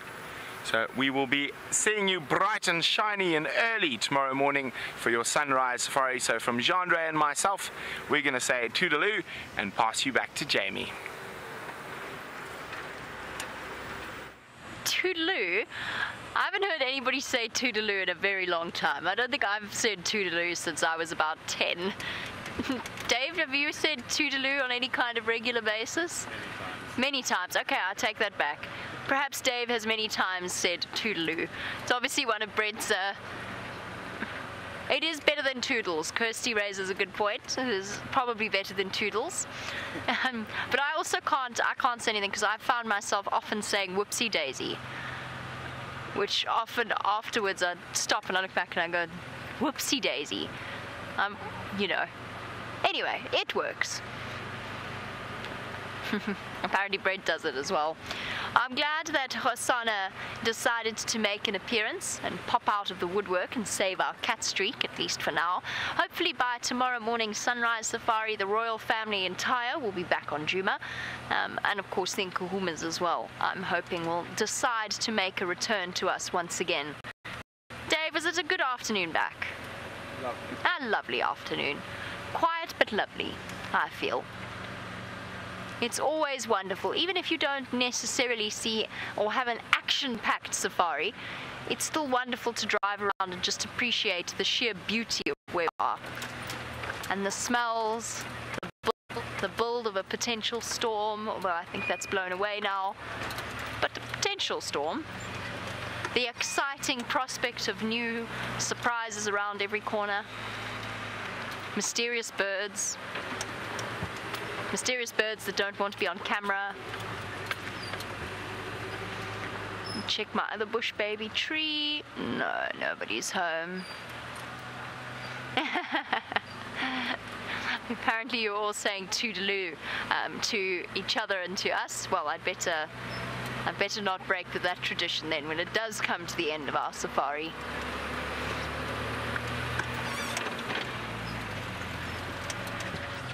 Dave, I don't think I've ever heard you say toodaloo. Absolutely. At least four times in the last five days. Okay, that's that's not just a that's not just a surprise word. That's a that's a genuine language use. Okay, fair enough. well, I'm glad we've said hello to you, Dave, today, and not Toodaloo. And on that slightly bizarre note, it is the end of our live safari. And you will have to join us again on the Sunrise Safari to find out what mysteries have unfolded during the African night. But for now, it is time to say our goodbyes and our thank yous. So a big thank you to Dave and a big welcome back to not only to Dave, although welcome back, Dave, to Kirsty, um, to to Connor, to Lou, and to Taylor tomorrow. But we'll get there. We will get there eventually. So thank you to Dave for his wonderful camera work. Thank you to Kirsty and Jerry in final control, um, and all of the team working behind the scenes to bring you these live safaris. Most importantly, a big thank you to all of you joining us wherever you happen to be. Thank you for your questions, comments, and invaluable company. And all that's left to say, I suppose, is toodaloo. Toodaloo.